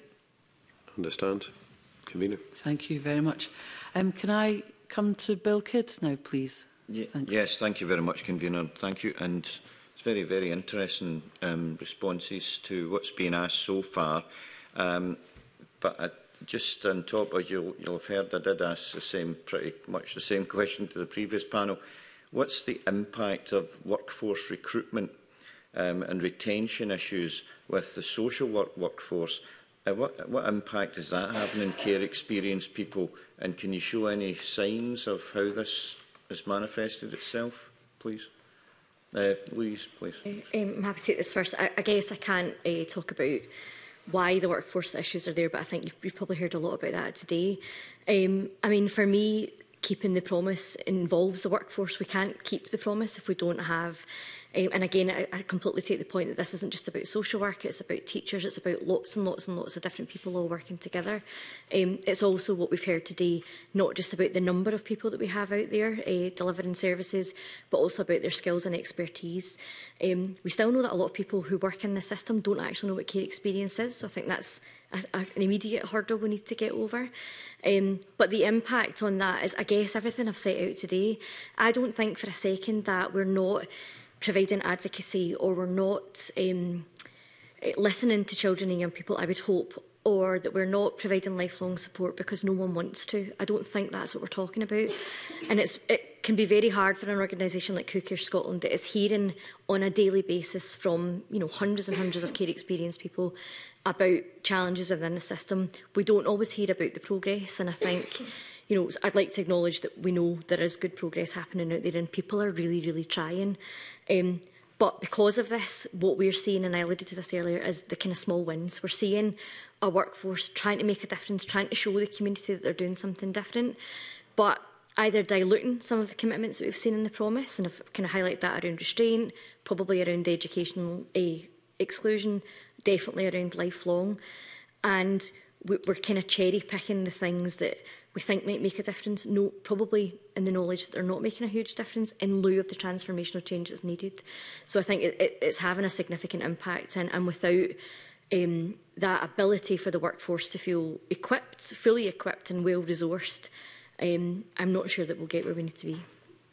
Okay.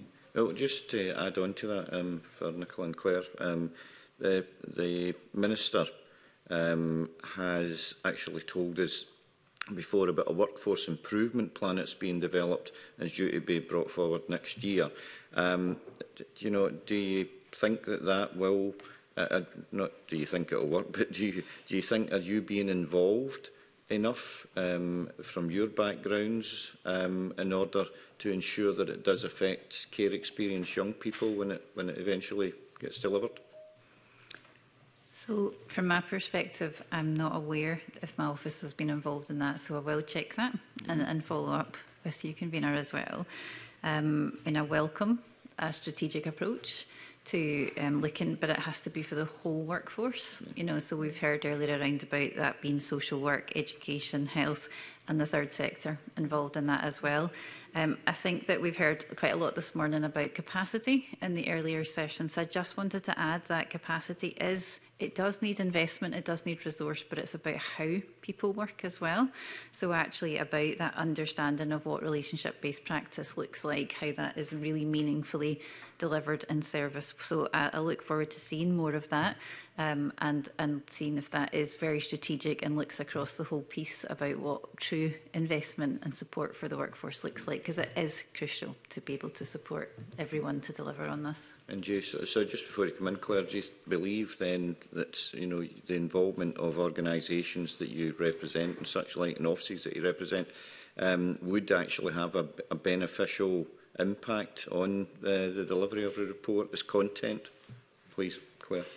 Yeah, I think, I mean, again, I'd, um, son says, I go, what's involved in that report? Because there's that many club. I don't think I have. What I have been involved in, and I know the two things are connected though, is developments around the National Social Work Agency. And again, I would say, I know that's been considered along with the NCS, and it's something that certainly at Celsius we've been very supportive of to say, I hear that there are things around the wider workforce there are particular issues around social work and social care that need to be, you know, that need to be addressed. We've got particular recruitment and retention issues. Of the workforce survey we've just done, we're saying the workforce is in crisis. And we went back and back, our researchers, to say, can we justify the use of that word? And we're saying, yes, we can. Massive workloads, massive um, vacancies, people that are burnt out after COVID. I think we heard some Kevin was saying this morning, we've lost huge amounts of capacity and leadership where people have decided uh, you know, after COVID, it's time for me to go. So I think, you know, we really are in a bit of a crisis in terms of that. But I think there are some plans around the National Social Work Agency that if they're taken forward would be really helpful because it's saying we need to deal with education in terms of social work and social care. We need to deal with some of the reputational issues that we still have in social work and social care, and um, I think that's right. We need to be thinking about well-being. We need to think about um, supervision and we need to be thinking, as Nicola's saying, about how are we supporting them to work with families in a strength-based, trauma-informed way. And I think it will take something like a national social work agency. We need to deal with all of that. Again, there's no quick wins. It's all of that. It's recruitment, retention, support, learning and development. All of those need to sit together. So I think I, I welcome that report, but just hope it's really well connected into the developments around the National Social Work Agency.